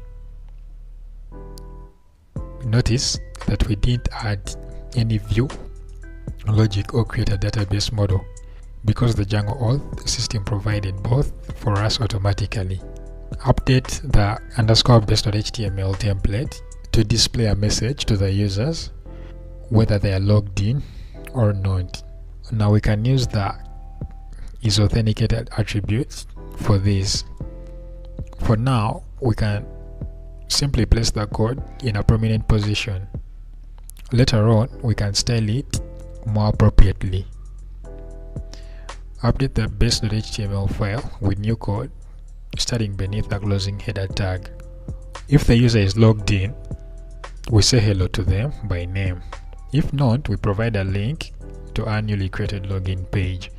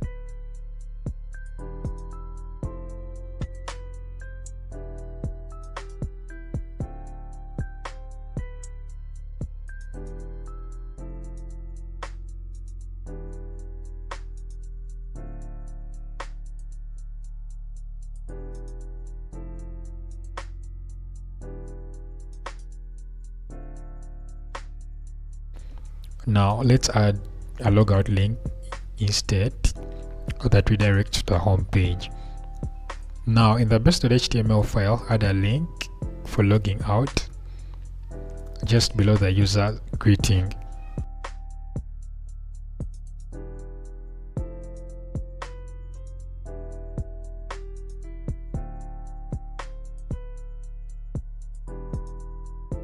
Update settings.py to provide a, redirect link. We can add it right next to our login redirect, so the bottom of the file. If you refresh the home page, you'll see it now has a logout link for log for logged in users and clicking it takes you back to the home page with a login link. In the next lecture, we'll look at how to implement the sign up process.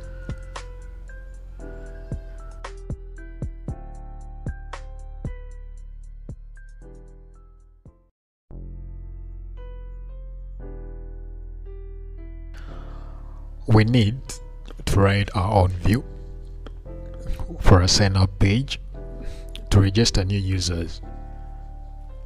But Django provides us with a form class called user creation form to make things easier. Now by default, it comes with three fields, username, password 1 and password 2.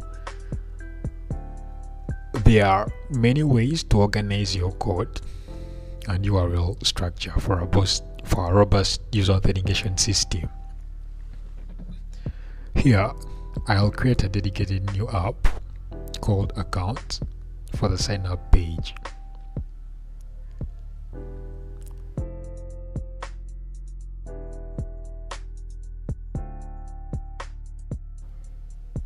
Add the new app to the installed apps in the settings.py file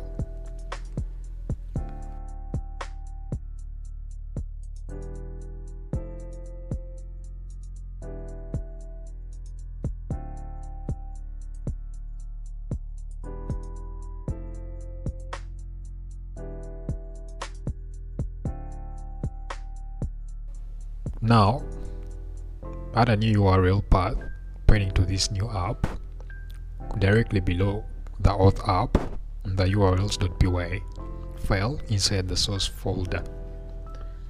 Now the order of the URLs matters here because Django reads the file from top to bottom. Let's go ahead and create our urls.py file inside the accounts folder.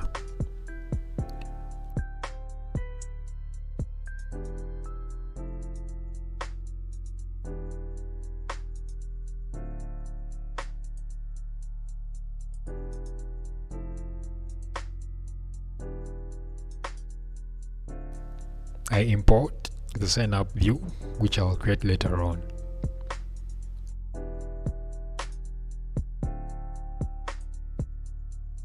Its path is sign up so the overall URL path will be account slash sign up.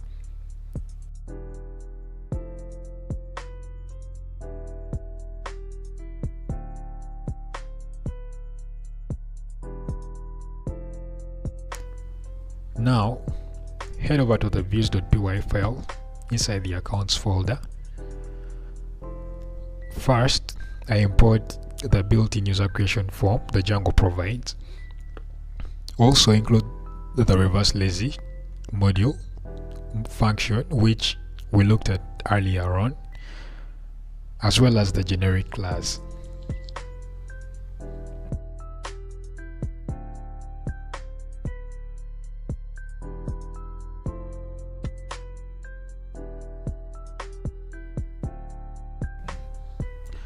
Subclass the generic class based create view in the signup view class. Specify the signup form to be the built-in user creation form. On sign up, a user is redirected to the login page. I use reverse lazy to redirect the user to the login page upon successful registration. Now the template for this view is called signup.html which I'll create later on. Now add a new file called signup.html to the templates directory. Add the following code to the file. This format is very familiar to what we've done before. We extend the base template at the top add form tags, use the CSRF token for security, display the forms containing paragraph, paragraph tags with the forms.as underscore p and include a submit button.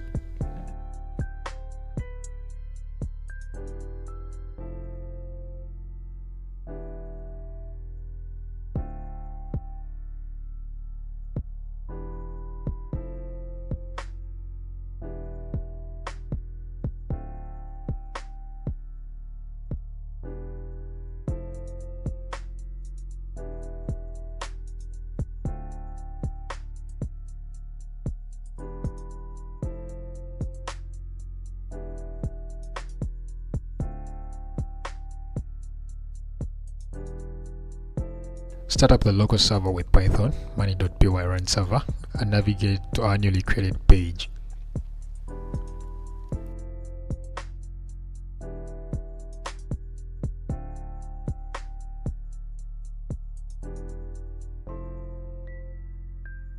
You Notice there's a lot of extra text that Django includes by default. We can customize this using something like the built-in messages framework but for now try out the form.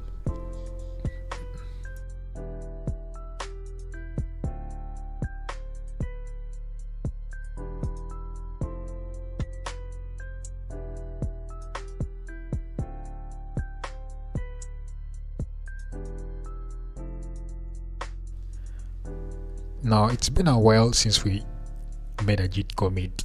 Let's do that and push a copy of our code to GitHub. First check all the new work that we've done with git status then add the new content and enter commit message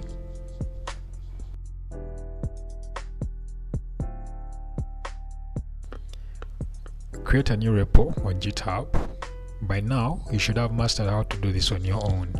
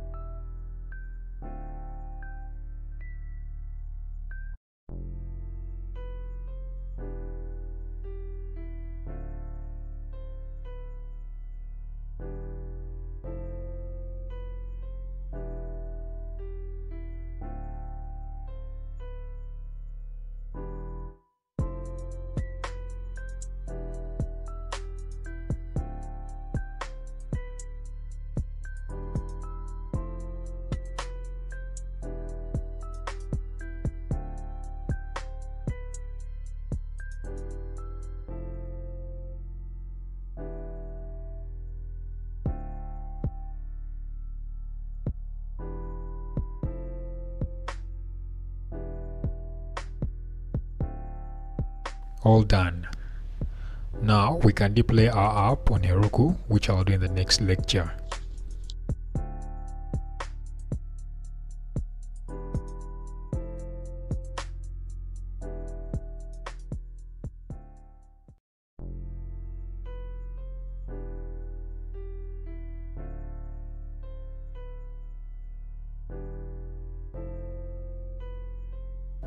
there are three changes we need to make so our app can be deployed on Heroku.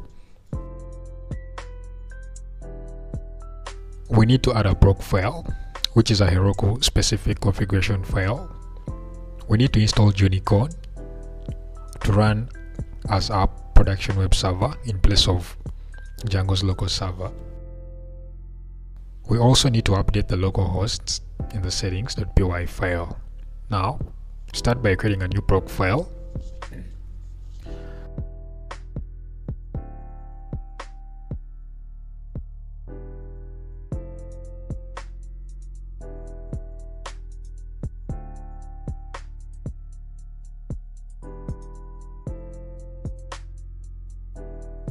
This line tells Heroku to use Gunicorn rather than the local server, which is not suitable for production.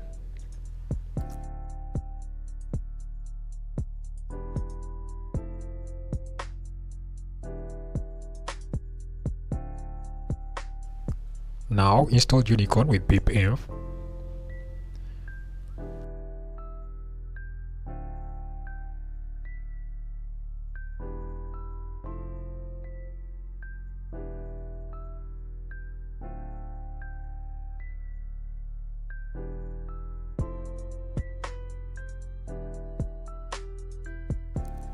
Finally, update allowed hosts to accept all domains, which is represented by the asterisk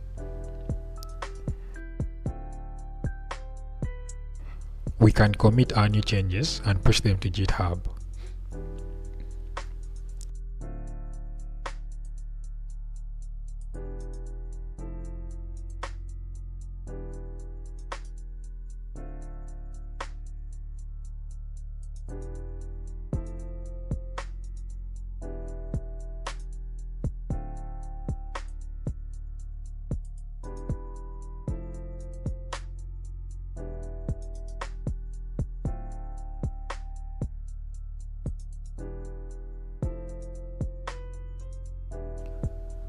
Deploy on Heroku, first confirm that you're logged in to your existing Heroku account with the command Heroku login.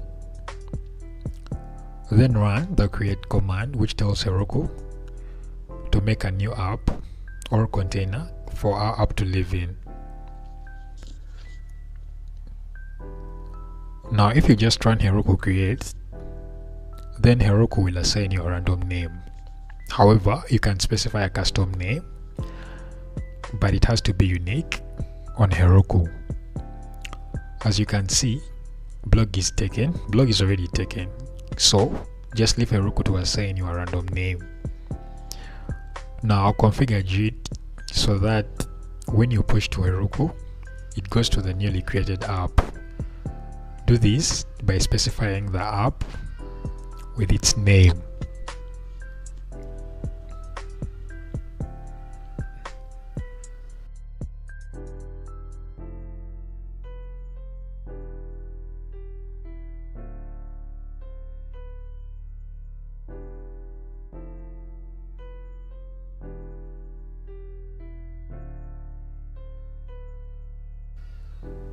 Now that we have static files, which is CSS, there's one more step to take.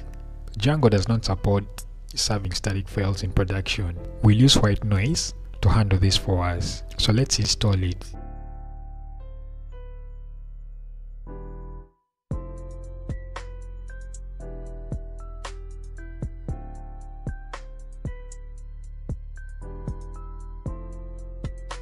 we need to update the static settings so it will be used in production. Add WhiteNoise to the installed apps above the built-in static files app. Also add the middleware as the third item. The order matters here.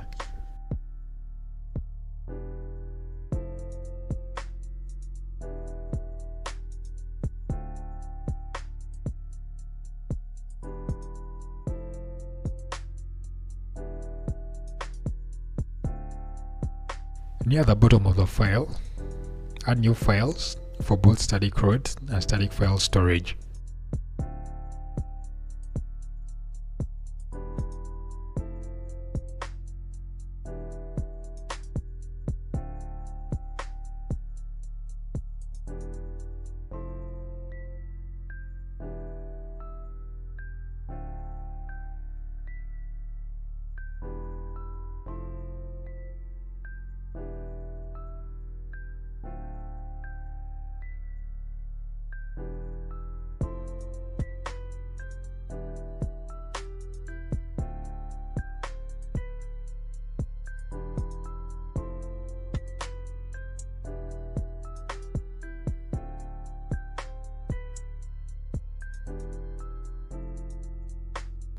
Sure to add and commit your new changes then push it to github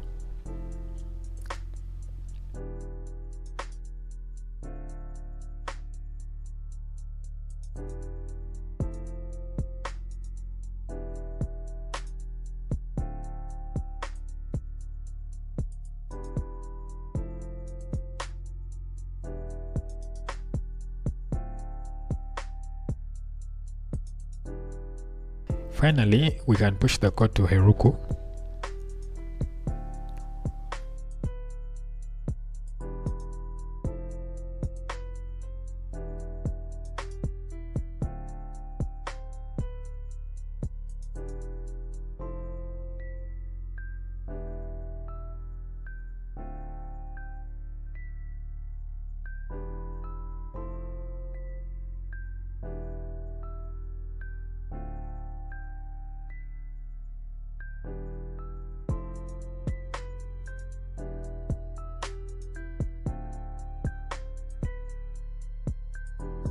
Then add a web process so that dyno is running.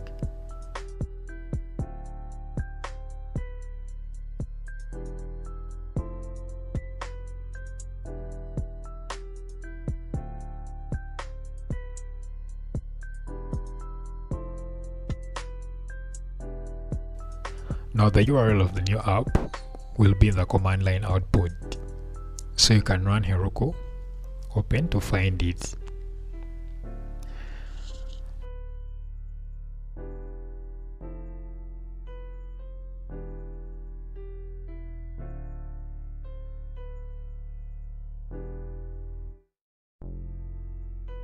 With a minimal amount of code, the Django framework has allowed us to create a login, logout, and sign up user authentication flow.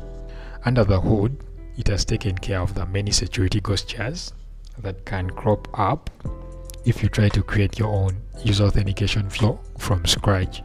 However, there are currently no permissions, so any user can add, edit, delete blog posts.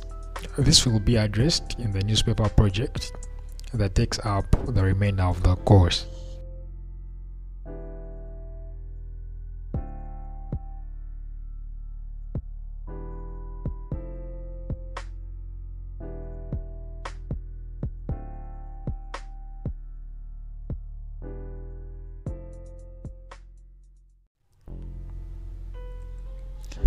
Django's built-in user model allows us to start working with users right away. As we just did with our blog app in the previous modules. However, it's highly recommended to use a custom user model for new projects. The reason is that if you want to make any changes to the user model, for example adding new fields, adding a custom user model from the beginning makes this quite easy. But if you do not create a custom user model, updating the default user model in an existing Django project is very and very challenging. Now we will use the abstract user model in this module where we start a new newspaper app properly with a custom user model. Now the first step as always is to create a new Django project from the command line. Create and navigate into a new directory for our code install Django with pipenv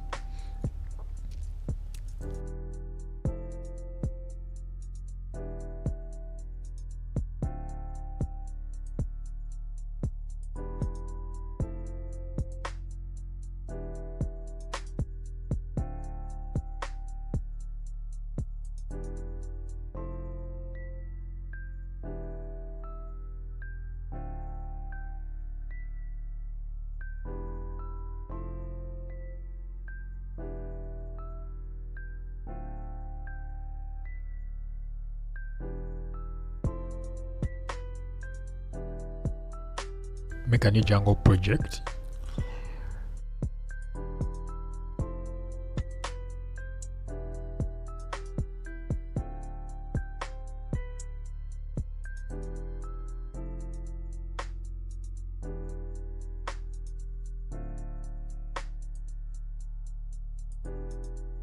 Create a new app called users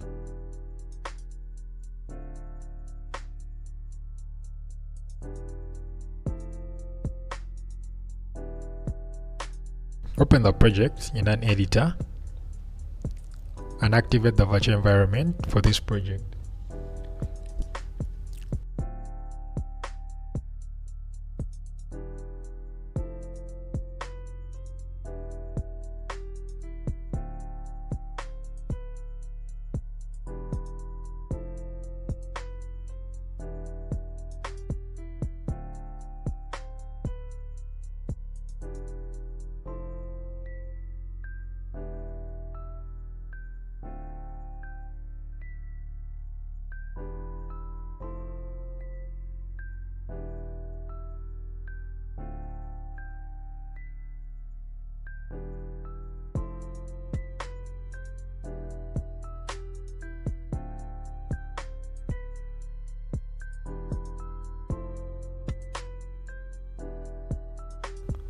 After this, you can proceed to start the server.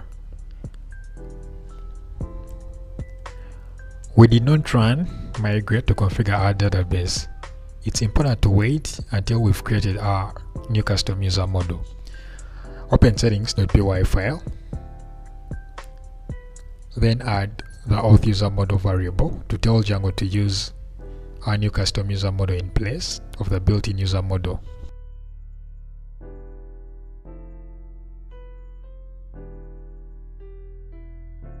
I call the custom user model custom user since this model is in the users app so we refer to it as users.custom user. Now update the models.py file within users.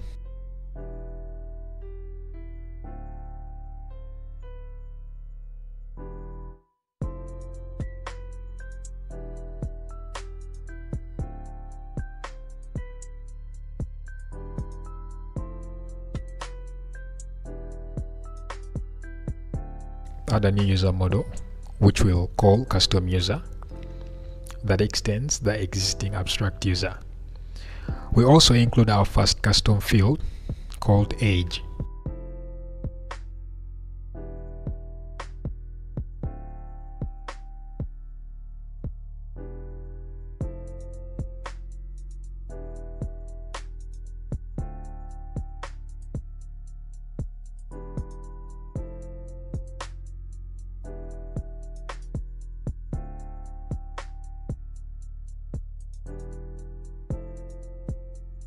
Now stop the local server with Ctrl plus C and create a new file in the user's app called forms.py. We'll update it with the following code to extend the existing user creation form and user change forms.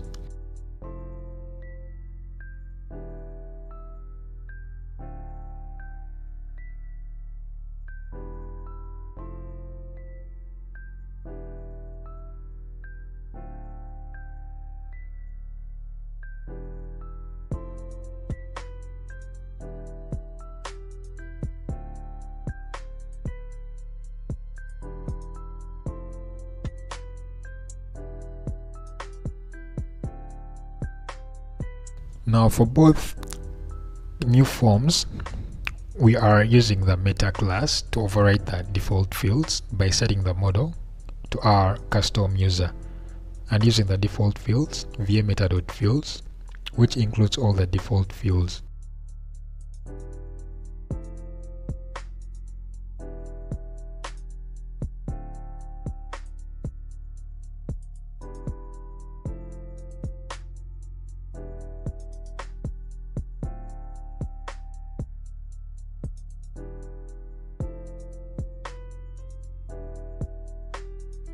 Now to add our custom age field, we simply tag it at the end and will display automatically on our feature sign up page.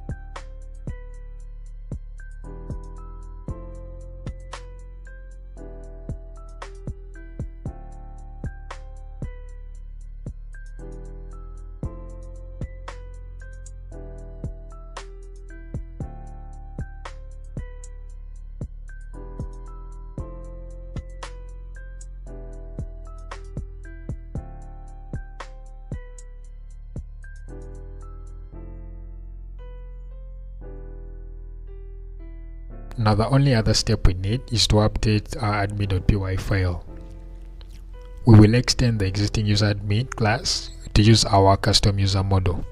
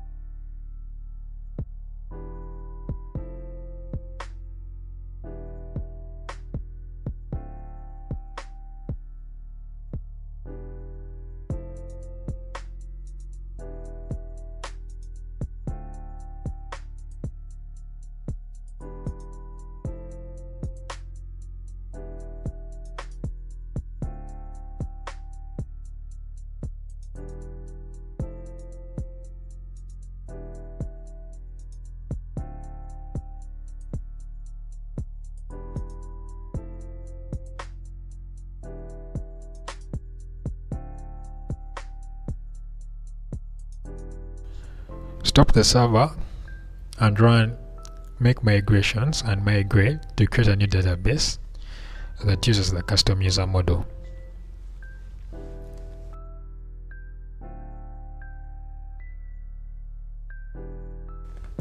Now I forgot to add my users app to the installed app list. Open the settings.py file and add the users the users app to the installed apps list.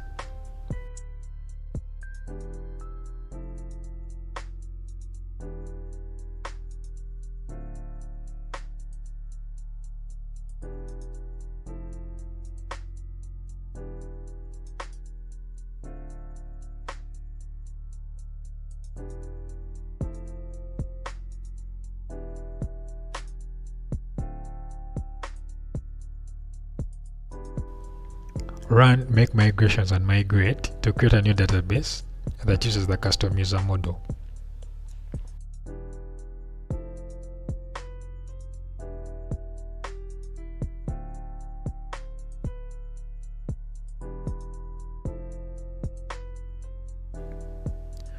Now let me create a super user account to confirm that everything works as expected.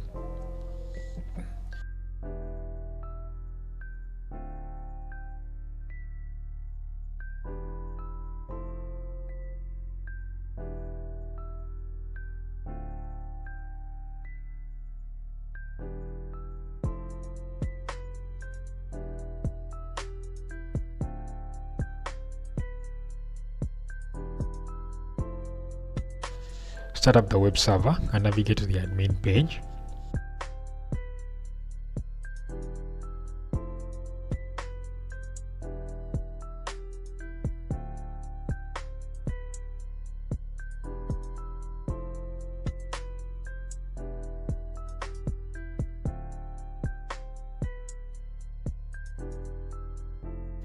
If you click on the link for users, you should see your super user account as well as the default fields of username, email, first name, last name, staff status. We can control the fields listed here via the list display setting for custom user admin. Let's do that now so that it displays email, username, age and staff status.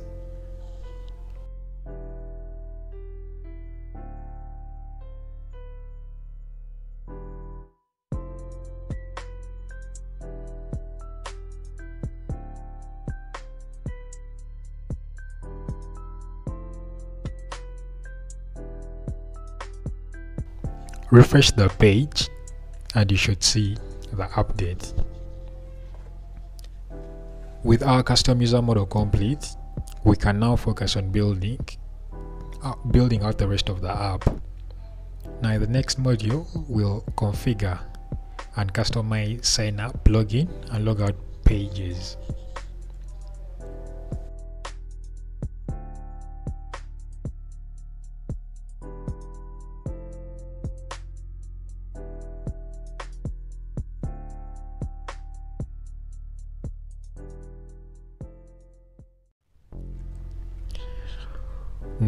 have a working custom user model, we can add the functionality every website needs. The ability to sign up, log in, and log out users. Django provides everything we need for login and log out, but we need to create our own form to sign up new users. We'll also build a basic home page with links to all three features so we don't have to type in the URLs by hand every time. Let's create a new templates directory and within it a registration directory as that's where Django will look for the login template.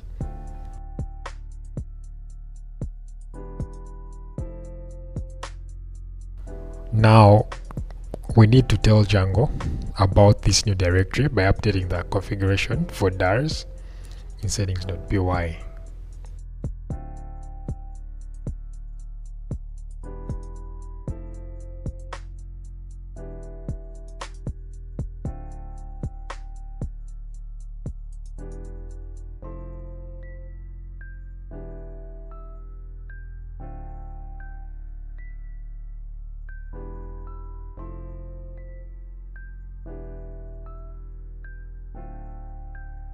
If you think about what happens when you log in or log out of a site, you are immediately redirected to a subsequent page. We need to tell Django where to send users in each case. The login redirect URL and logout redirect URL settings do that. We'll configure both to redirect to our home page, which will have now create now we can create four new templates login.html within the registration folder inside the templates directory underscore base.html, home.html and signup.html within the templates folder.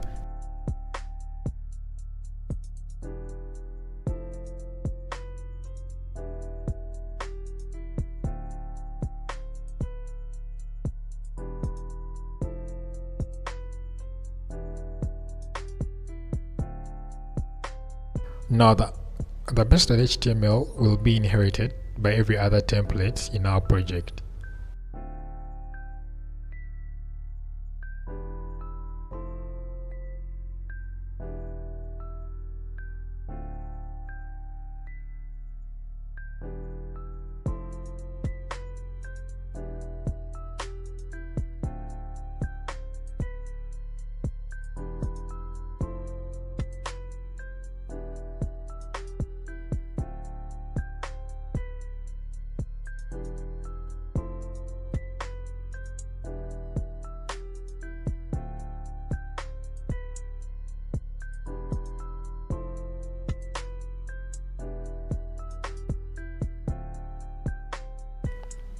By using a block, we can later override the content within this block in other templates.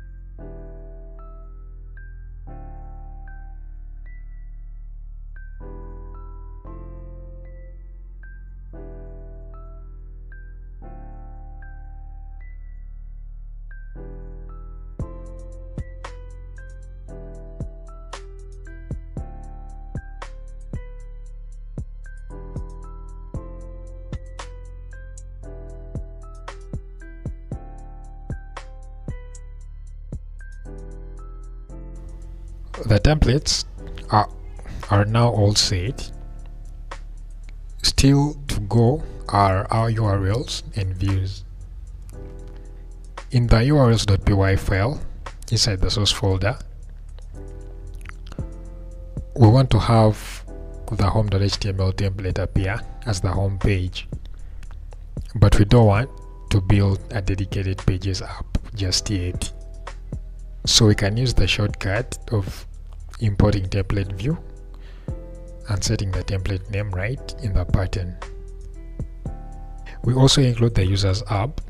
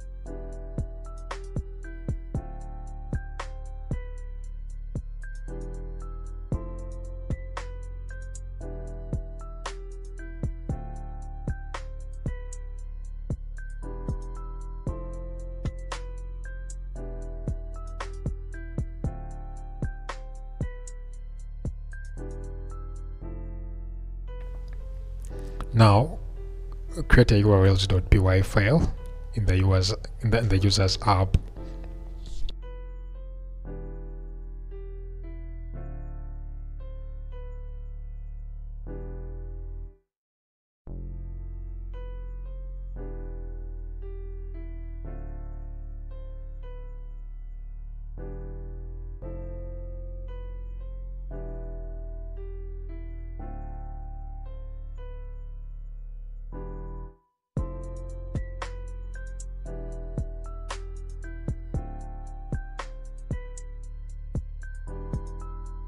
The last step is our views.py file, which will contain the logic for our sign up form.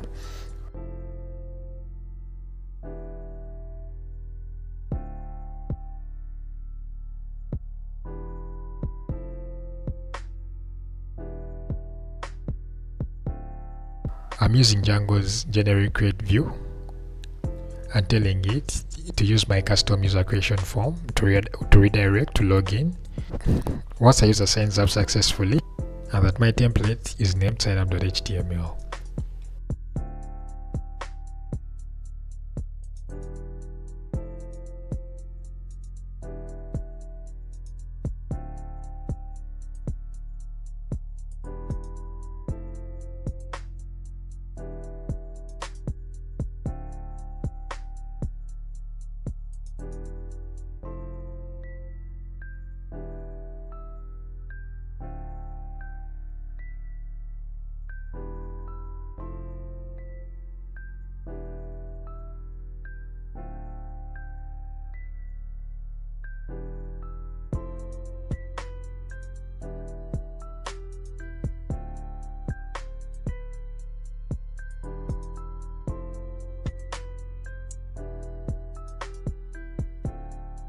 let me test everything out.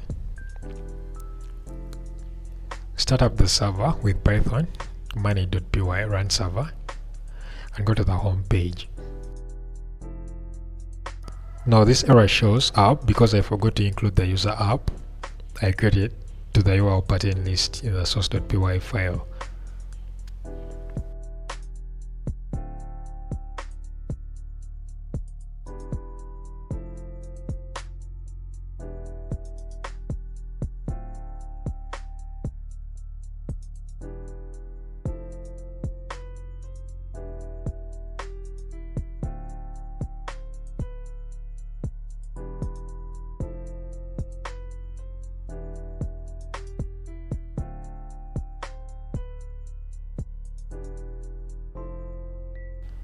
go ahead and click on login on the login link and use your super user credentials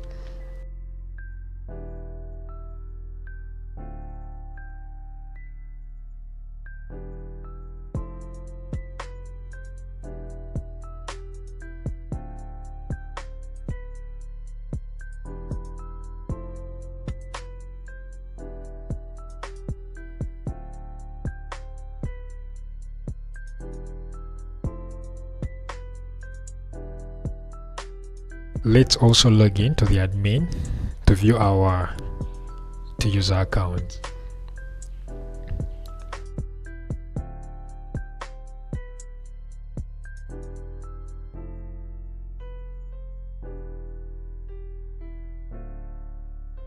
Click on users and you can see now everything is working but you may notice that there is no email address for a test user. When you look back at the sign up page you'll see that it asks for username age and password but not email. However we can easily change it. Return to user slash forms.py and change it.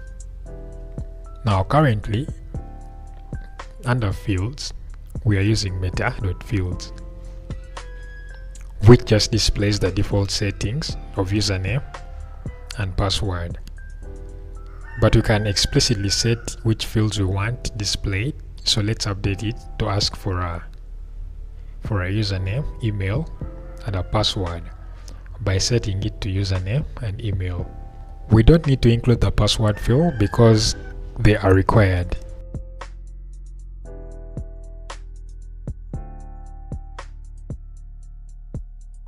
So far, the newspaper app has a custom user model and working sign up login and logout pages.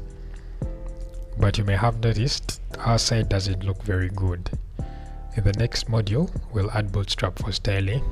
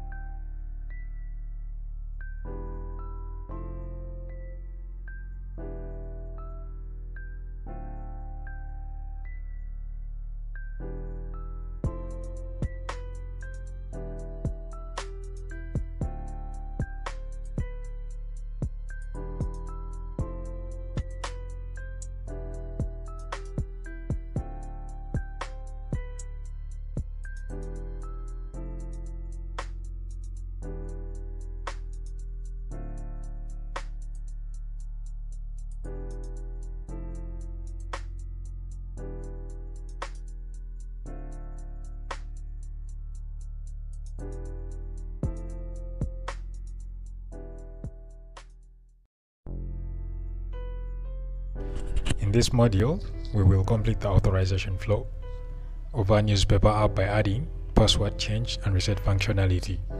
Users will be able to change their current password or if they've forgotten it, to reset it via email. Letting users change their password is a common feature on many websites. Django provides a default implementation that already works at this stage. To try it out, I start by activating my virtual environment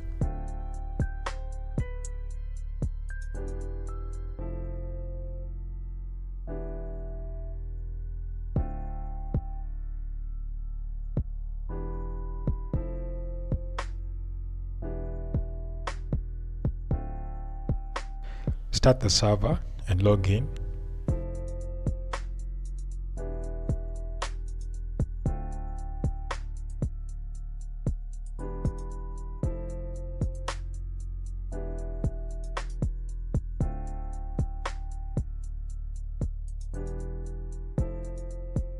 Then navigate to the password change page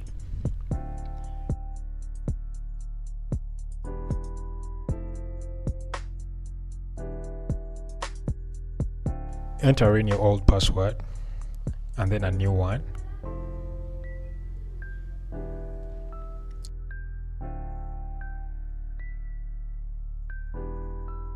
You'll be redirected to the password change successful page. Let's customize these two password change pages so that they match the look of our newspaper site.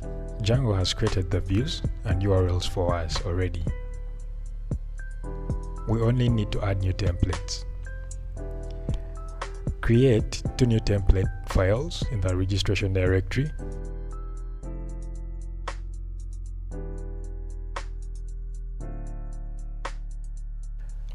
Update password change form.html with the following code.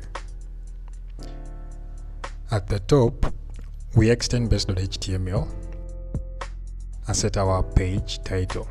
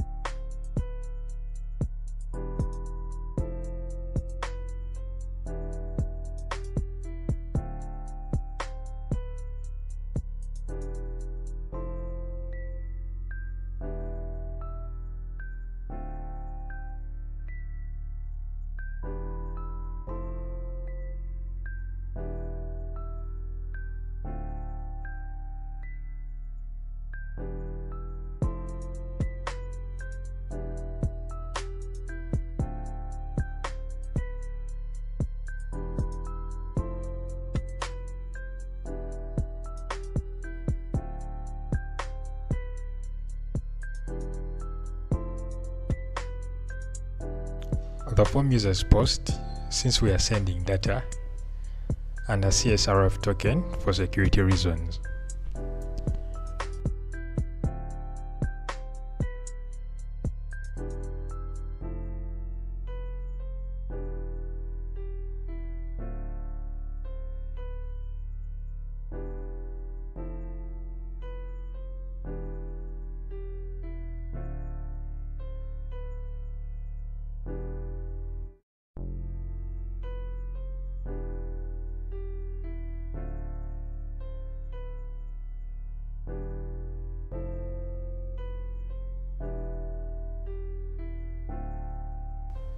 Ahead and navigate to the password change page and see the changes.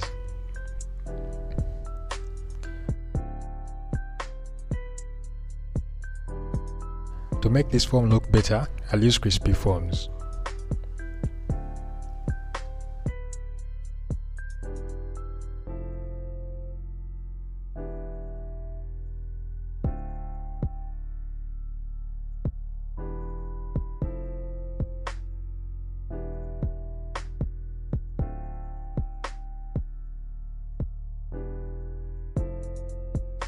Next up is the password change done template. It also extends base.html and includes a new title. However, there is no form on the page, just new text.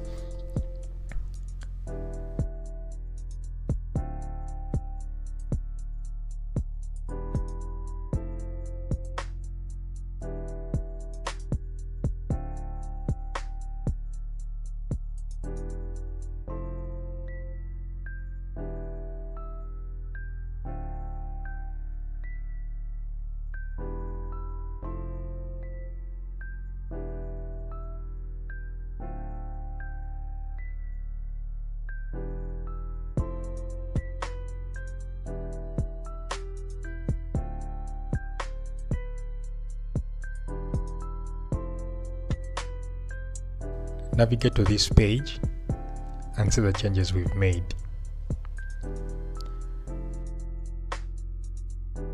In the next lecture, we'll look at how to add password reset functionality.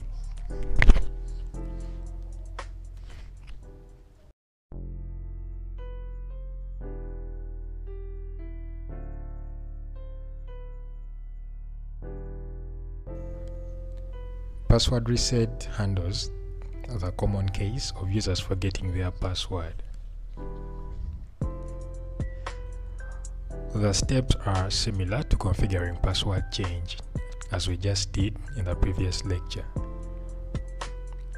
Django already provides a default implementation that we will use and then customize the templates so it matches the rest of our site. The only configuration required is telling Django how to send emails.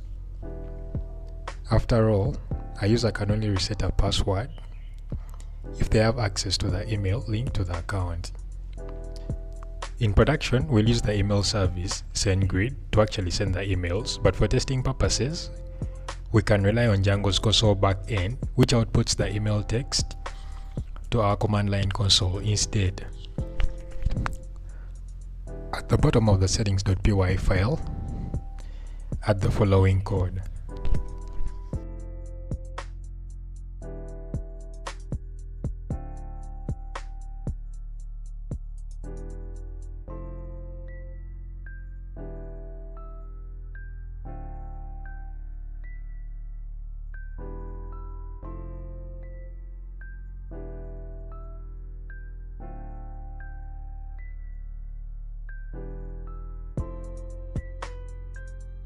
Navigate to the password reset page.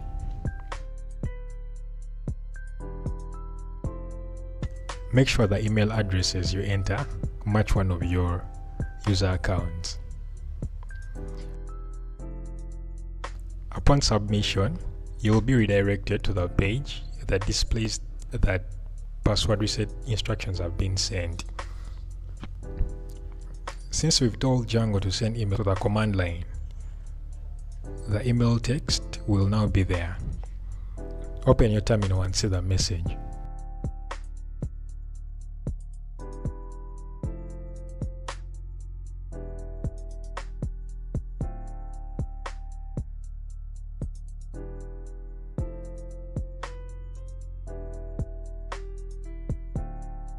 When you follow this link, you'll be redirected to the change password page.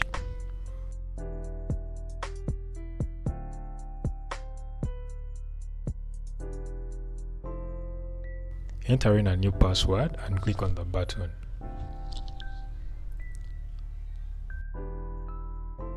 We need to customize these templates so that they look like a newspaper site.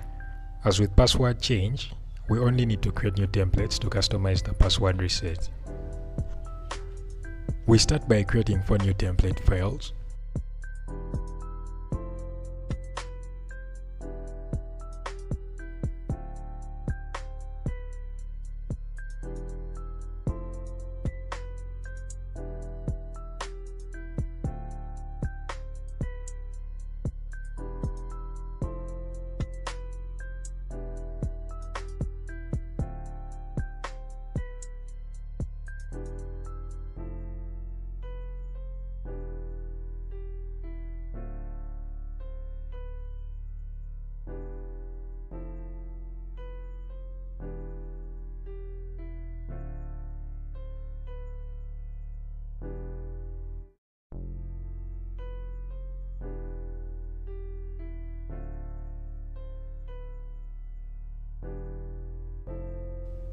Password reset form.html, enter the following code.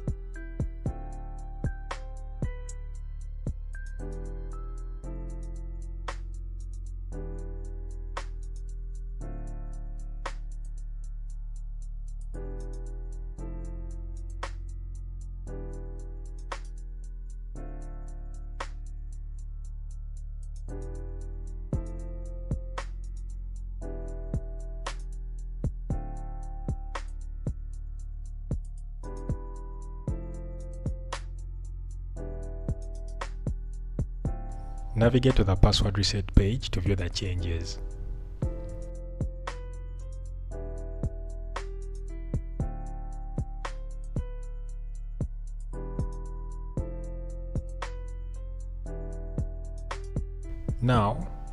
Also update the other three pages.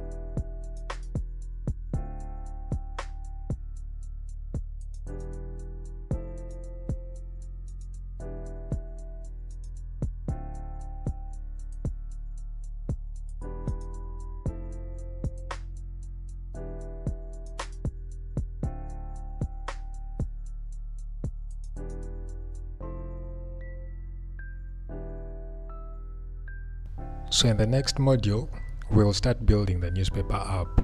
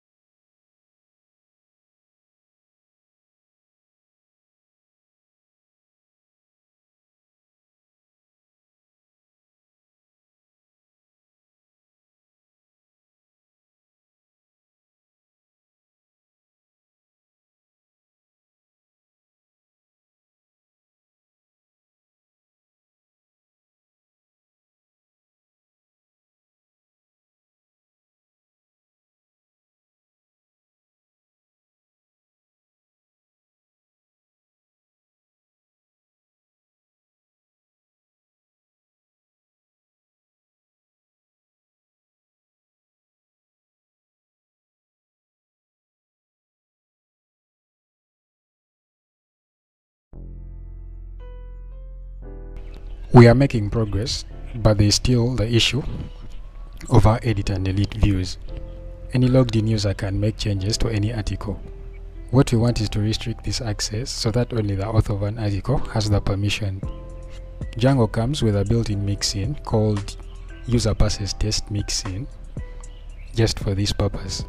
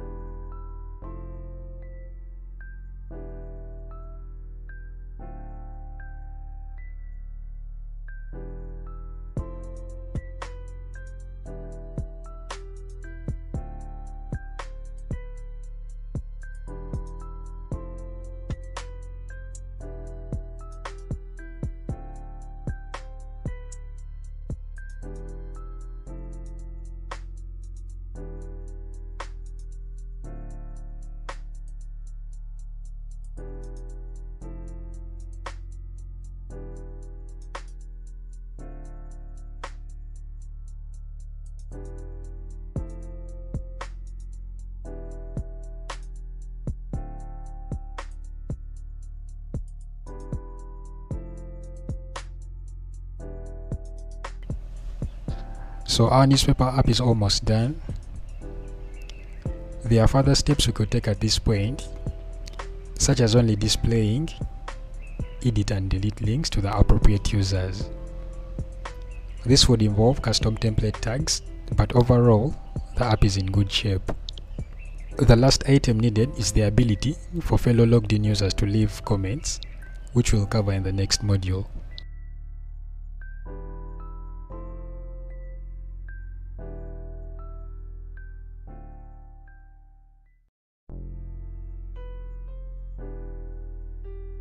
There are two ways we could add comments to our newspaper site.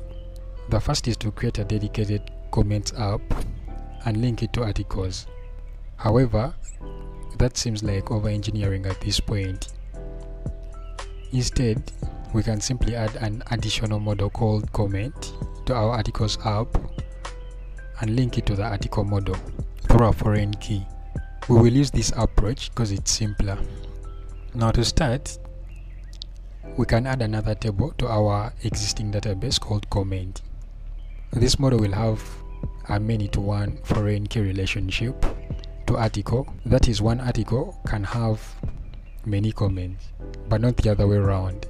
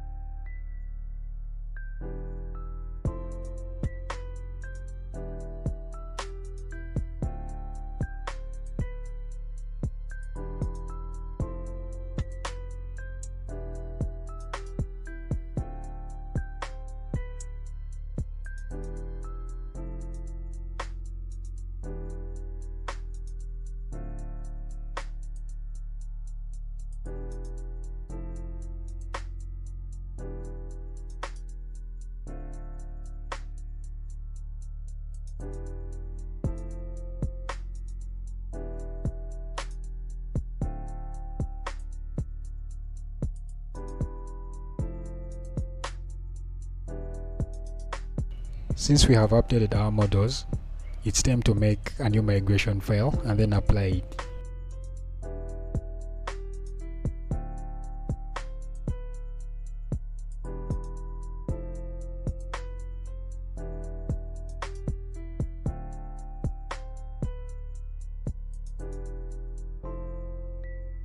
Add comment to our admin.py file so it will be visible to the admin page.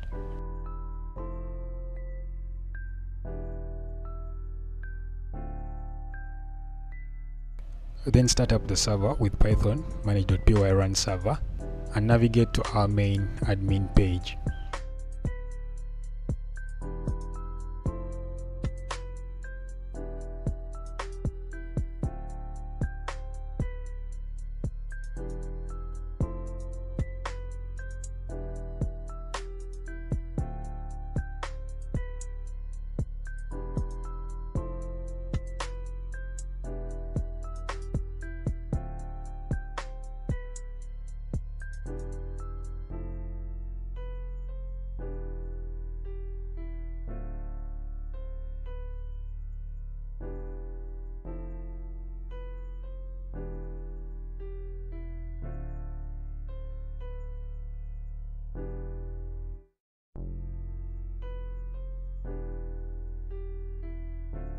It would be better to just see all the comments related to a single post. It turns out we can do this with a Django admin feature called inlines, which displays a foreign key relationship in a nice and visual way. There are two main inline views, which are tabular inline and stacked inline. In a tabular inline, all model fields appear on one line, while in a stacked inline, each field has its own line. Update the admin.py file inside the articles folder as follows.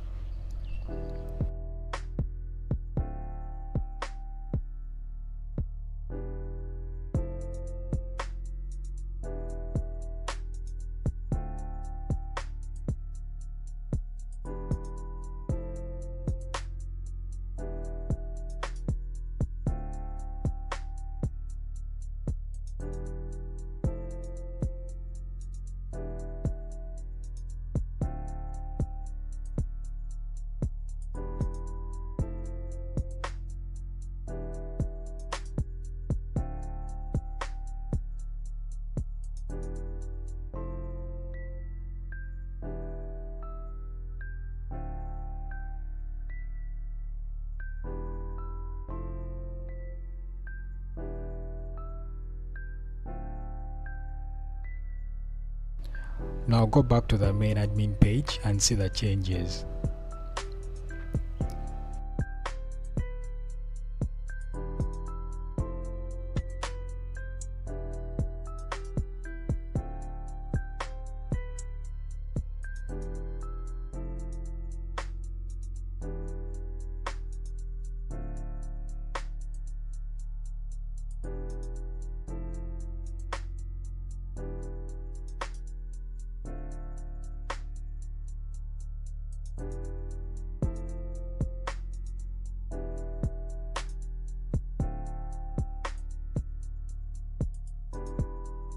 Personally though, I prefer using tabular inline as it shows more information in less space.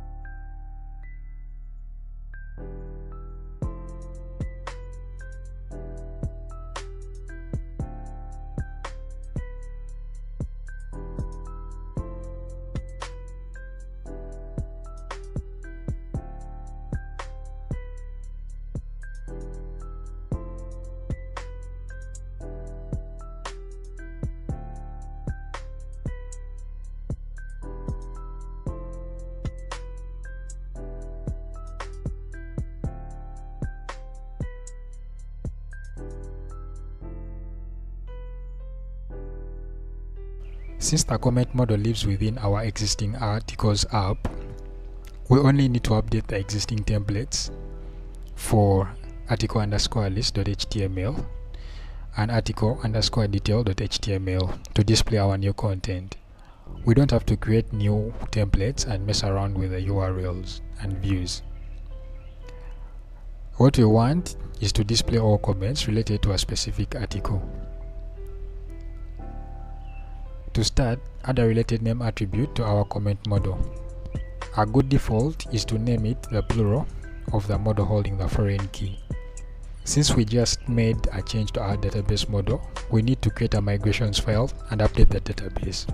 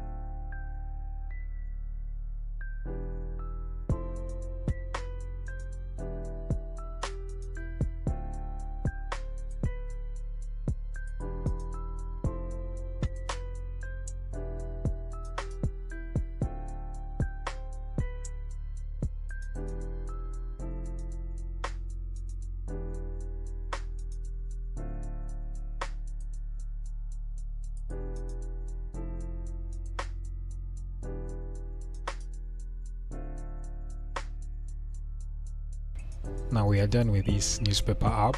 You can proceed to deploy it to Heroku and commit all the changes and push them to GitHub.